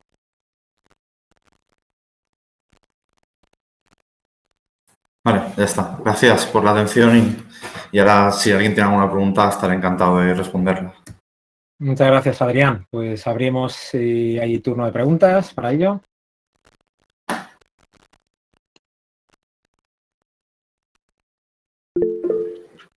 Pedro, adelante. Si no era, bueno, las ventajas de, lo que has enseñado, Adrián, están claras. Eh, mi pregunta es, eh, ¿qué ventaja adicional tiene la realización presencial de, esta práctica? Y luego, si a nivel de mantenimiento habéis tenido o habéis previsto algún tipo de contingencia, es decir, que cuando el alumno empiece a utilizar la plataforma, pues bueno, haya que, ¿no? Tenga que estar algún técnico presente o algo así. Eh, respecto a, eh, la, primera, ¿cuál era? Perdón, ¿puedes repetir la primera pregunta? Sí, ¿qué, ventaja adicional tiene la realización presencial de, esta práctica? Ah, presencial. Eh, realmente está, eh, lo hemos diseñado de forma que se puede utilizar tanto remotamente como presencial. De ahí que tenga una pantalla táctil para manejo local, sin tener que ser remoto. presencial no habría ninguna diferencia. De hecho, lo, hicimos así para que eh, el estudiante los estudiantes pudieran utilizarlo indistintamente sin ninguna diferencia de estar presencial o, a distancia. Realmente presencial es que lo ven más cerca, pero, pero nada más. Eh, respecto a la segunda, sí que es necesario poner varias capas de protección para que el, uso incorrecto del sistema, por ejemplo, porque el estudiante no lo ha diseñado bien el sistema, que no se cargue nada. No requeriría un técnico, eh, ninguna persona eh, que, estuviera continuamente cerca de, presencialmente del sistema, pero sí que es necesario incorporar varias capas de protección en ese sentido. Que, por ejemplo, el si, el, si el control que ha introducido el estudiante lo lleva al robot a una configuración peligrosa en la que puede romper algo, pues que se bloquee antes de llegar a ella. Ok, gracias. Bueno, pues interesante presentación, Adrián. Muchas gracias. Y vamos a dar paso a la última presentación de este bloque, que viene a cargo de Irene Carrillo Murcia, del Departamento de Psicología de la Salud, que nos va a presentar el trabajo titulado Transformación Digital en las aulas universitarias, explotando el potencial del campus virtual del OMH y otras plataformas educativas. Buenos días, pues nada, como vamos pasados de tiempo, agradecer la iniciativa y vamos a proyectar ya nuestro vídeo.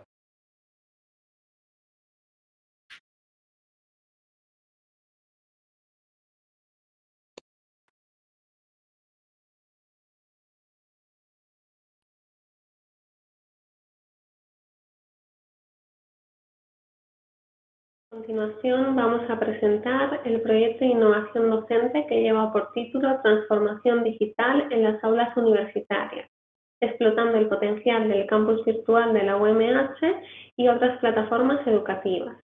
Las docentes que hemos participado en este proyecto de innovación docente somos Mercedes Gilaber Mora, mi compañera, y yo, Irene Carrillo Murcia, y las dos pertenecemos al Departamento de Psicología de la Salud de la UMH. Hemos implicado en este proyecto algunas de las asignaturas de las que somos responsables. En concreto, han participado la asignatura Técnicas de Negociación de tercer curso del grado en Relaciones Laborales y Recursos Humanos, también Calidad Asistencial de tercer curso del grado en Terapia Ocupacional y por último Psicología del Trabajo y de las Organizaciones del segundo curso del grado en Administración y Dirección de Empresas. ¿Con qué objetivo nos planteamos llevar a cabo este proyecto de innovación docente? Bueno, nuestra idea era incorporar la tecnología a la docencia universitaria como herramienta para el aprendizaje activo y gamificado. Y también teníamos interés en eh, evaluar el impacto que esto tenía en los resultados académicos y en la experiencia de aprendizaje del estudiante. Cuando tomamos conciencia de las posibilidades que nos ofrecía el campus virtual de la universidad, nos planteamos una serie de objetivos específicos que se muestran aquí en la diapositiva, pero en términos generales nuestra intención era sacar provecho de esos recursos para fomentar el interés, la motivación de los estudiantes a largo plazo, eh, conectar de manera más cercana con ellos a través de los diferentes mecanismos que ponía a nuestra disposición el campus virtual Utilizar también las rúbricas y otros elementos para sistematizar los procesos de evaluación, realizar ejercicios que nos ayudasen a dinamizar las sesiones y si todo esto contribuía a mejorar el rendimiento académico y la satisfacción de los estudiantes, tanto mejor. No podemos obviar que el proyecto se ha desarrollado en un contexto muy particular que ha sido el de la docencia dual, donde, bueno, tanto estudiantes como docentes nos hemos tenido que exponer a una serie de retos. El docente ha tenido que dividir su atención para cubrir las necesidades tanto de quienes asistían a clase presencialmente como quienes lo hacían a través del ordenador o del tablet, es decir, de manera virtual o no presencial. También es diferente el uso que se hace de la tecnología en el aula que en casa.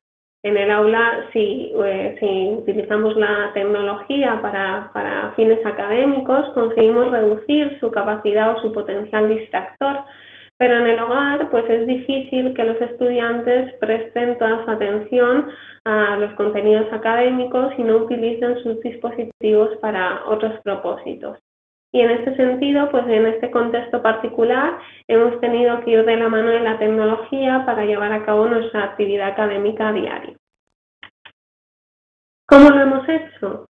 Bueno, en realidad no teníamos un plan rígido ni fijo acerca de qué recursos teníamos que utilizar ni cómo utilizarlos, sino que tanto Mercedes como yo adoptamos el firme compromiso de utilizar los recursos del campus virtual de manera consistente a lo largo de la impartición de las asignaturas.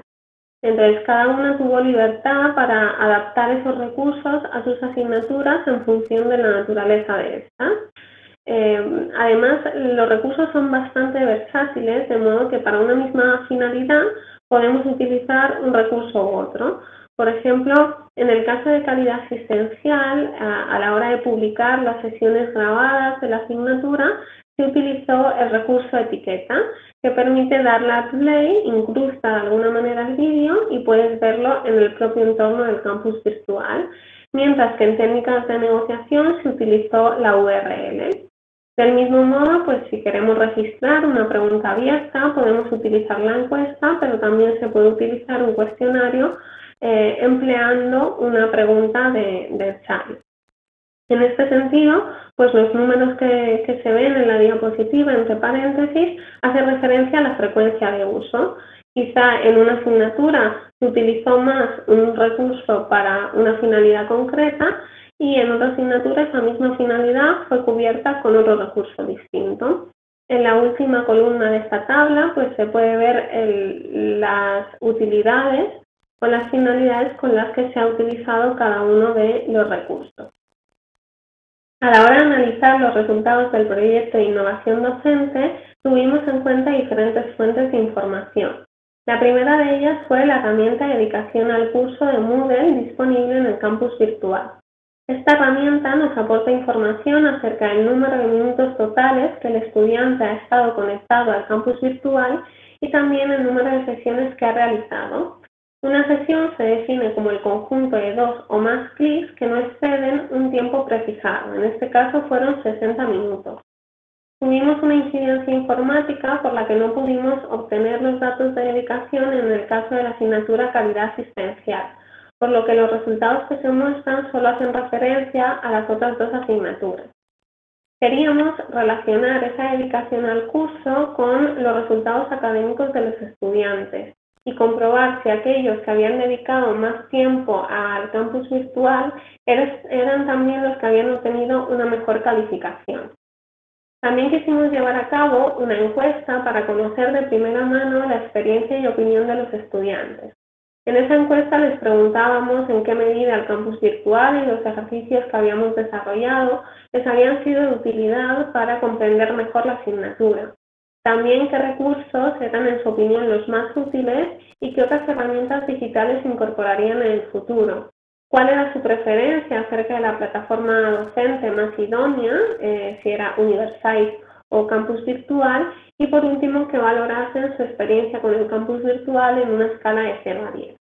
Al finalizar el proyecto, las docentes implicadas nos reunimos para compartir nuestras impresiones y experiencias. ¿Qué nos dicen los datos? En esta diapositiva podemos ver que los estudiantes de técnicas de negociación dedicaron una media de 686,9 minutos a estar conectados en el campus virtual frente a los 1.151 minutos de los estudiantes de psicología del trabajo y de las organizaciones. De manera similar, en cuanto al número de sesiones, vemos que los estudiantes de técnicas de negociación tuvieron una media de 26,4 frente a las 33 de psicología del trabajo y de las organizaciones. Vemos que a la hora de explicar la disparidad en cuanto a la dedicación media en una asignatura u otra, tenemos que tener en cuenta el volumen de contenidos desarrollados. En ese sentido, calidad asistencial fue la asignatura en la que hubo una mayor versatilidad de recursos y también donde la frecuencia de uso de los mismos fue más elevada. Las gráficas de esta diapositiva nos muestran la evolución del número de sesiones por semana en el campus virtual de las asignaturas analizadas. La línea azul representa eh, la dedicación de la docente. La línea verde corresponde con la dedicación de aquellos estudiantes que finalmente superaron la asignatura. Y la línea naranja la de aquellos que no la aprobaron. Las principales conclusiones que podemos extraer del dibujo es que las tendencias entre los diferentes participantes son similares, es decir, los picos se producen en los mismos momentos temporales. Sin embargo, la intensidad difiere de unos a otros. No cabe duda de que el uso activo del campus virtual exige una mayor dedicación por parte de las docentes, que como mínimo duplica la dedicación de los estudiantes. Por otro lado, aunque la dedicación de los que aprueban y suspenden es similar, sí que parece que hay una cierta superioridad en la dedicación de aquellos que finalmente superan la asignatura. Y también hemos observado que en los periodos vacacionales se suele producir un descenso en el número de sesiones al campus virtual.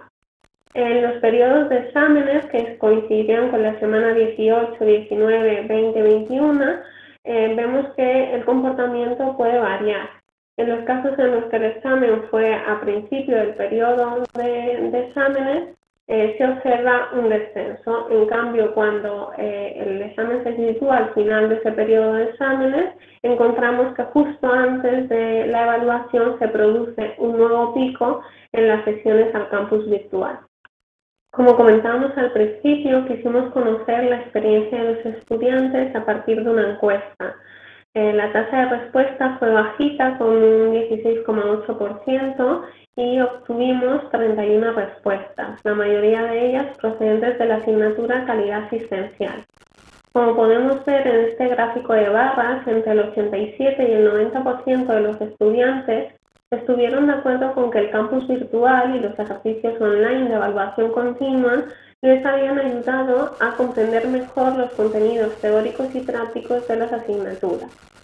Y en cuanto a su preferencia por la plataforma docente más idónea, eh, la mayoría estuvo de acuerdo con que el campus virtual era la mejor opción, aunque hubo un tercio que se mostró indiferente entre campus virtual y universal.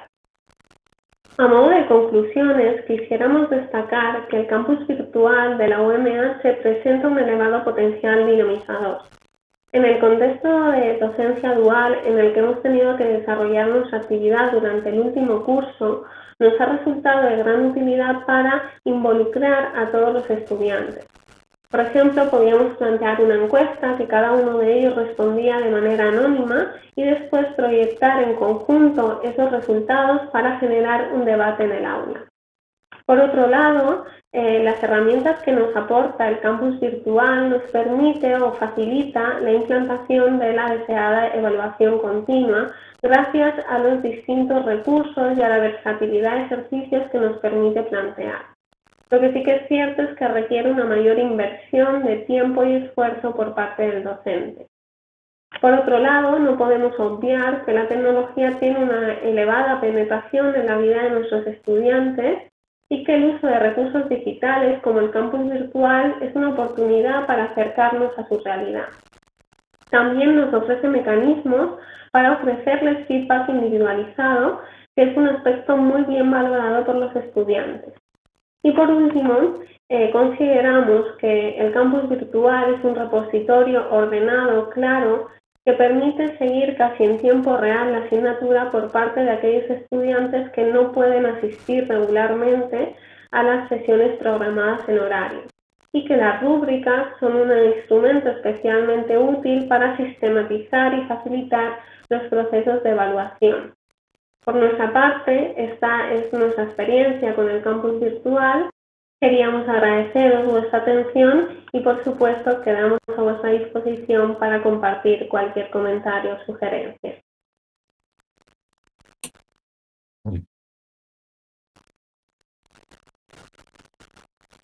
Muy bien, muchas gracias por la presentación. Eh, pasamos al turno de consultas y preguntas.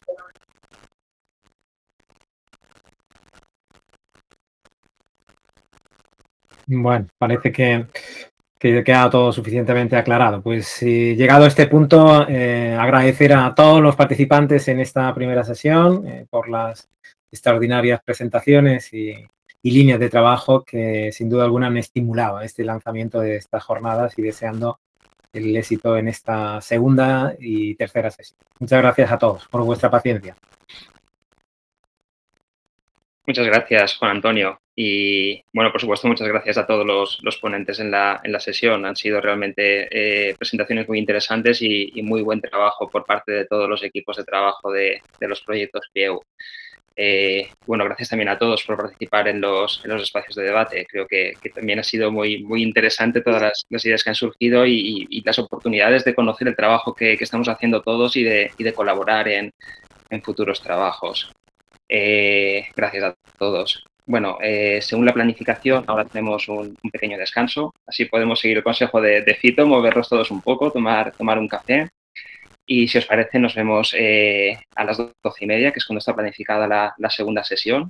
Tenemos ahora entonces unos, unos minutos de descanso. Nos vemos en, en 15 minutos. Gracias a, gracias a todos. Hasta ahora.